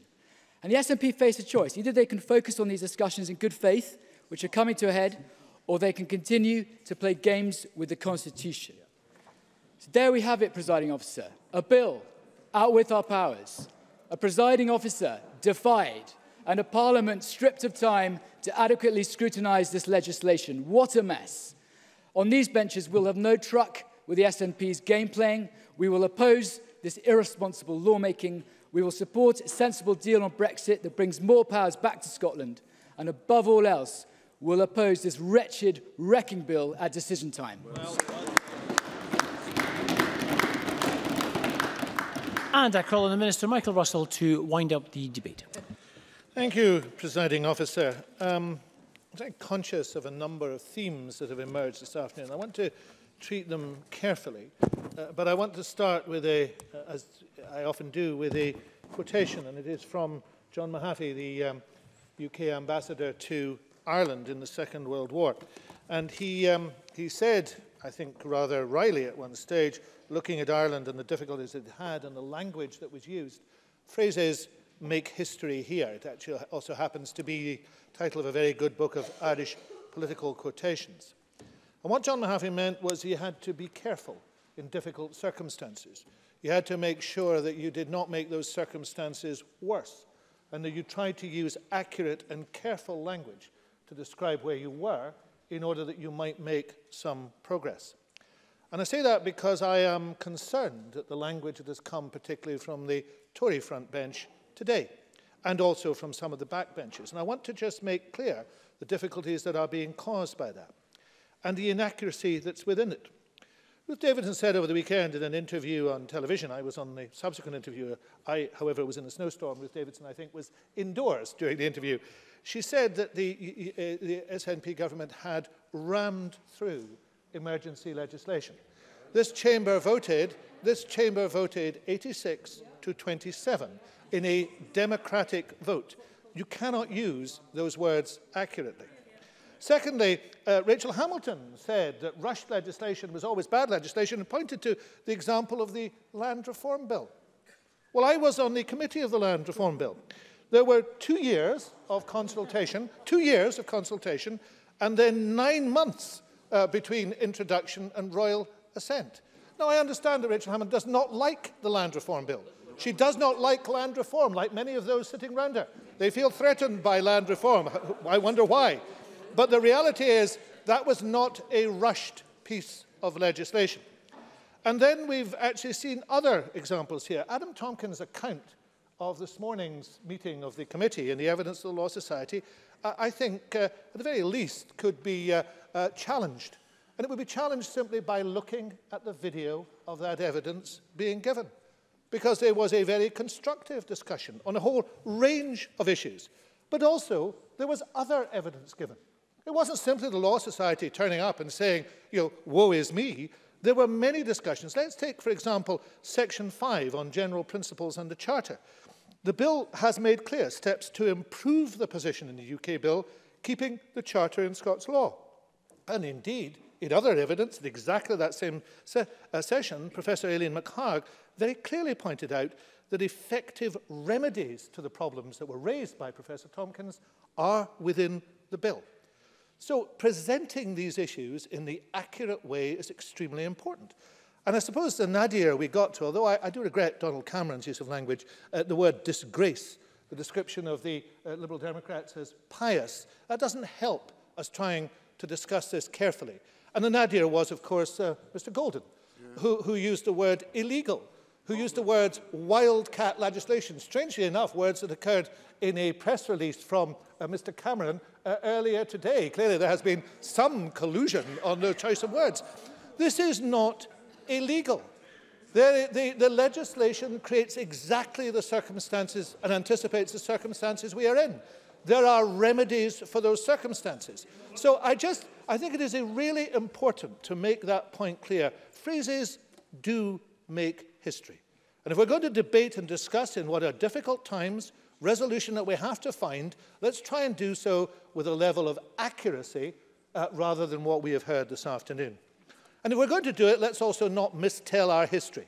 Uh, of course, we all took different positions at various times uh, on the Constitutional Convention, and all of us did different things. Uh, Mr. Arthur was said uh, he was, and uh, Mr. Golden were too young to vote in the 1997 referendum.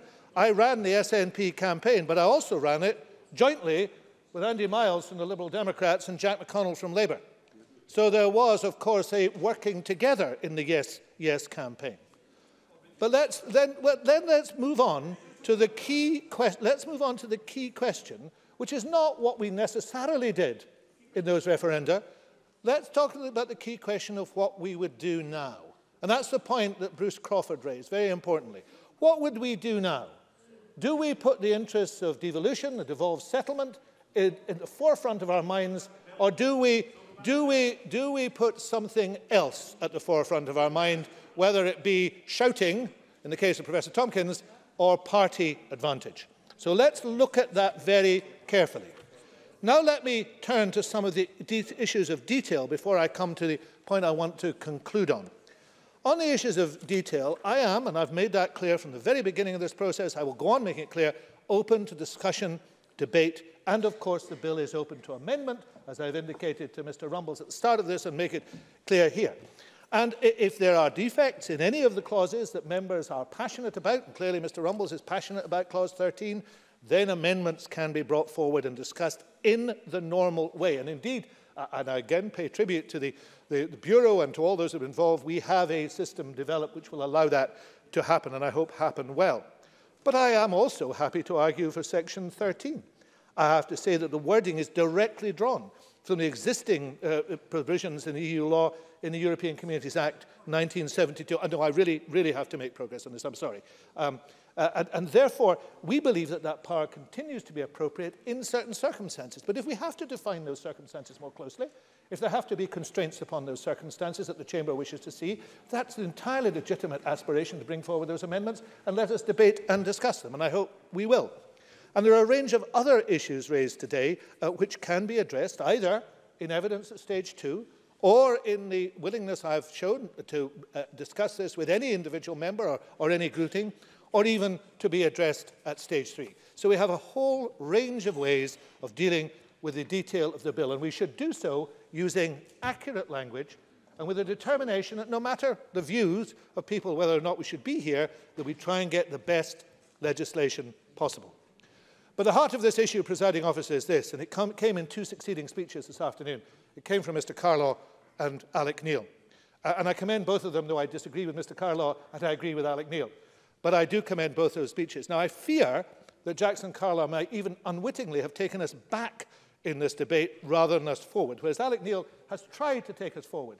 He will recognize this is a case of respici prospici, something that he himself talks about often, the motto of his old school. And Kate Forbes and Neil Finlay made exactly the same point. Now, tomorrow we will, tomorrow we will have to address the substantive issue of whether we can get an agreement. And if the UK government have dug themselves into a position where they cannot accept the basic principle, and Kate Forbes made it, not to sign away our responsibilities. Mark Drakeford made it, and she quoted Mark Drakeford in this, not to sign away our responsibilities in this cha chamber. If, we, if the UK government is determined not to do that, then there cannot be an agreement. But if, as Alec Neil has indicated, there is the possibility of finding in the middle there some way in which we can accept the devolved settlement, which is the devolved settlement, can't be wished away.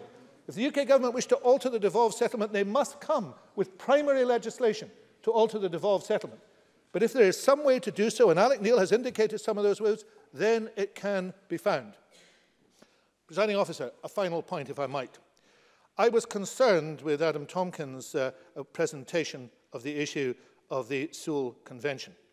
It had eerie echoes of Jacob Rees-Mogg on the Irish border, blaming the issue on the Irish border on the EU, not on the Brexiteers. Now, let me make it absolutely clear. The Sewell Convention should apply and should go on applying. And nobody in this chamber, I hope, believes otherwise. And if there is any attempt to argue, as appeared to be the case, that in some sense we had sold the pass on the Sewell Convention, let me put that to one side now. Let me put that firmly and clearly. Don't blame the victim for the crime. The reality of this situation is the Sewell Convention applies and should confine, and it would be. It would be an extreme step, the type of step I hope that's not be anticipated by Mr. Carlaw in his speech. It would be an extreme step if what was to happen was that convention was to be abandoned by the UK government. For, uh, Mr. Mr. Tompkins simply keeps shouting. I've tried to indicate I think that's the inappropriate way to deal with these issues. the appropriate way to these issues is to have the type of debate that he was involved in this morning, where there was constructive debate in the committee. And I don't know what he had for his lunch, but clearly it didn't agree with him. now, let me finish, presiding officer, by simply saying this. I will go into tomorrow's discussions in London, as I know Mark Drakeford will, and I spoke to him at lunchtime today, hopeful, positive and purposeful. But we will be judged in the end by the chambers to which we report. And the judgment will come on that key issue, as Kate Forbes indicated to it. Have we made sure that we stand up for and do not trade away the responsibilities and rights of this Parliament? Or have we found some weakness within ourselves that does not allow us to do it? I believe we should stand up for the rights of this Parliament because that's standing up for the rights of the people of Scotland. But I go in to negotiate uh, absolutely determined to try and find a way to get an agreement.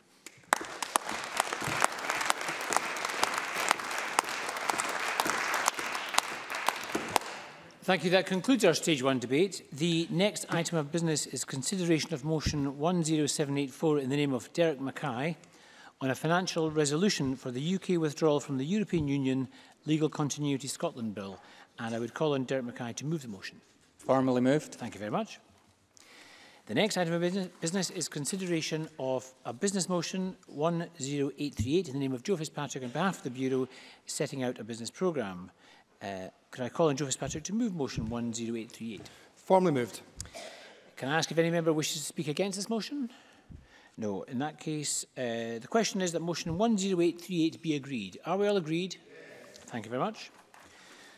We come now to decision time. The first question is that motion 10817 in the name of Michael Russell on the UK withdrawal from the European Union Legal Continuity Scotland Bill at Stage 1 be agreed. Are we all agreed? Yes. We're not agreed. We'll move to a division. and Members may cast their votes now.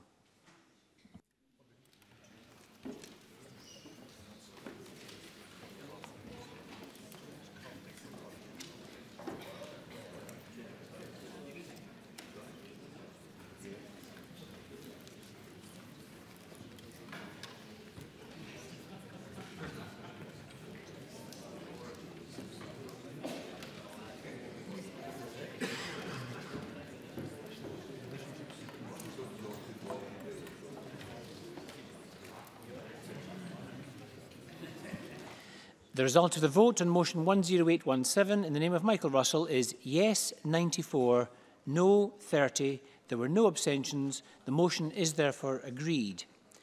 I would just point out that uh, because this is an emergency bill procedure and the Parliament has agreed to the general principles of the bill, stage two amendments should be lodged by 2pm this Friday. That's Friday the 9th of March at 2pm. The next question is that motion 10784 in the name of Derek Mackay on a financial resolution for the continuity bill be agreed. Are we all agreed? Yes. We're not agreed. We'll move to a division again and members may cast their votes now.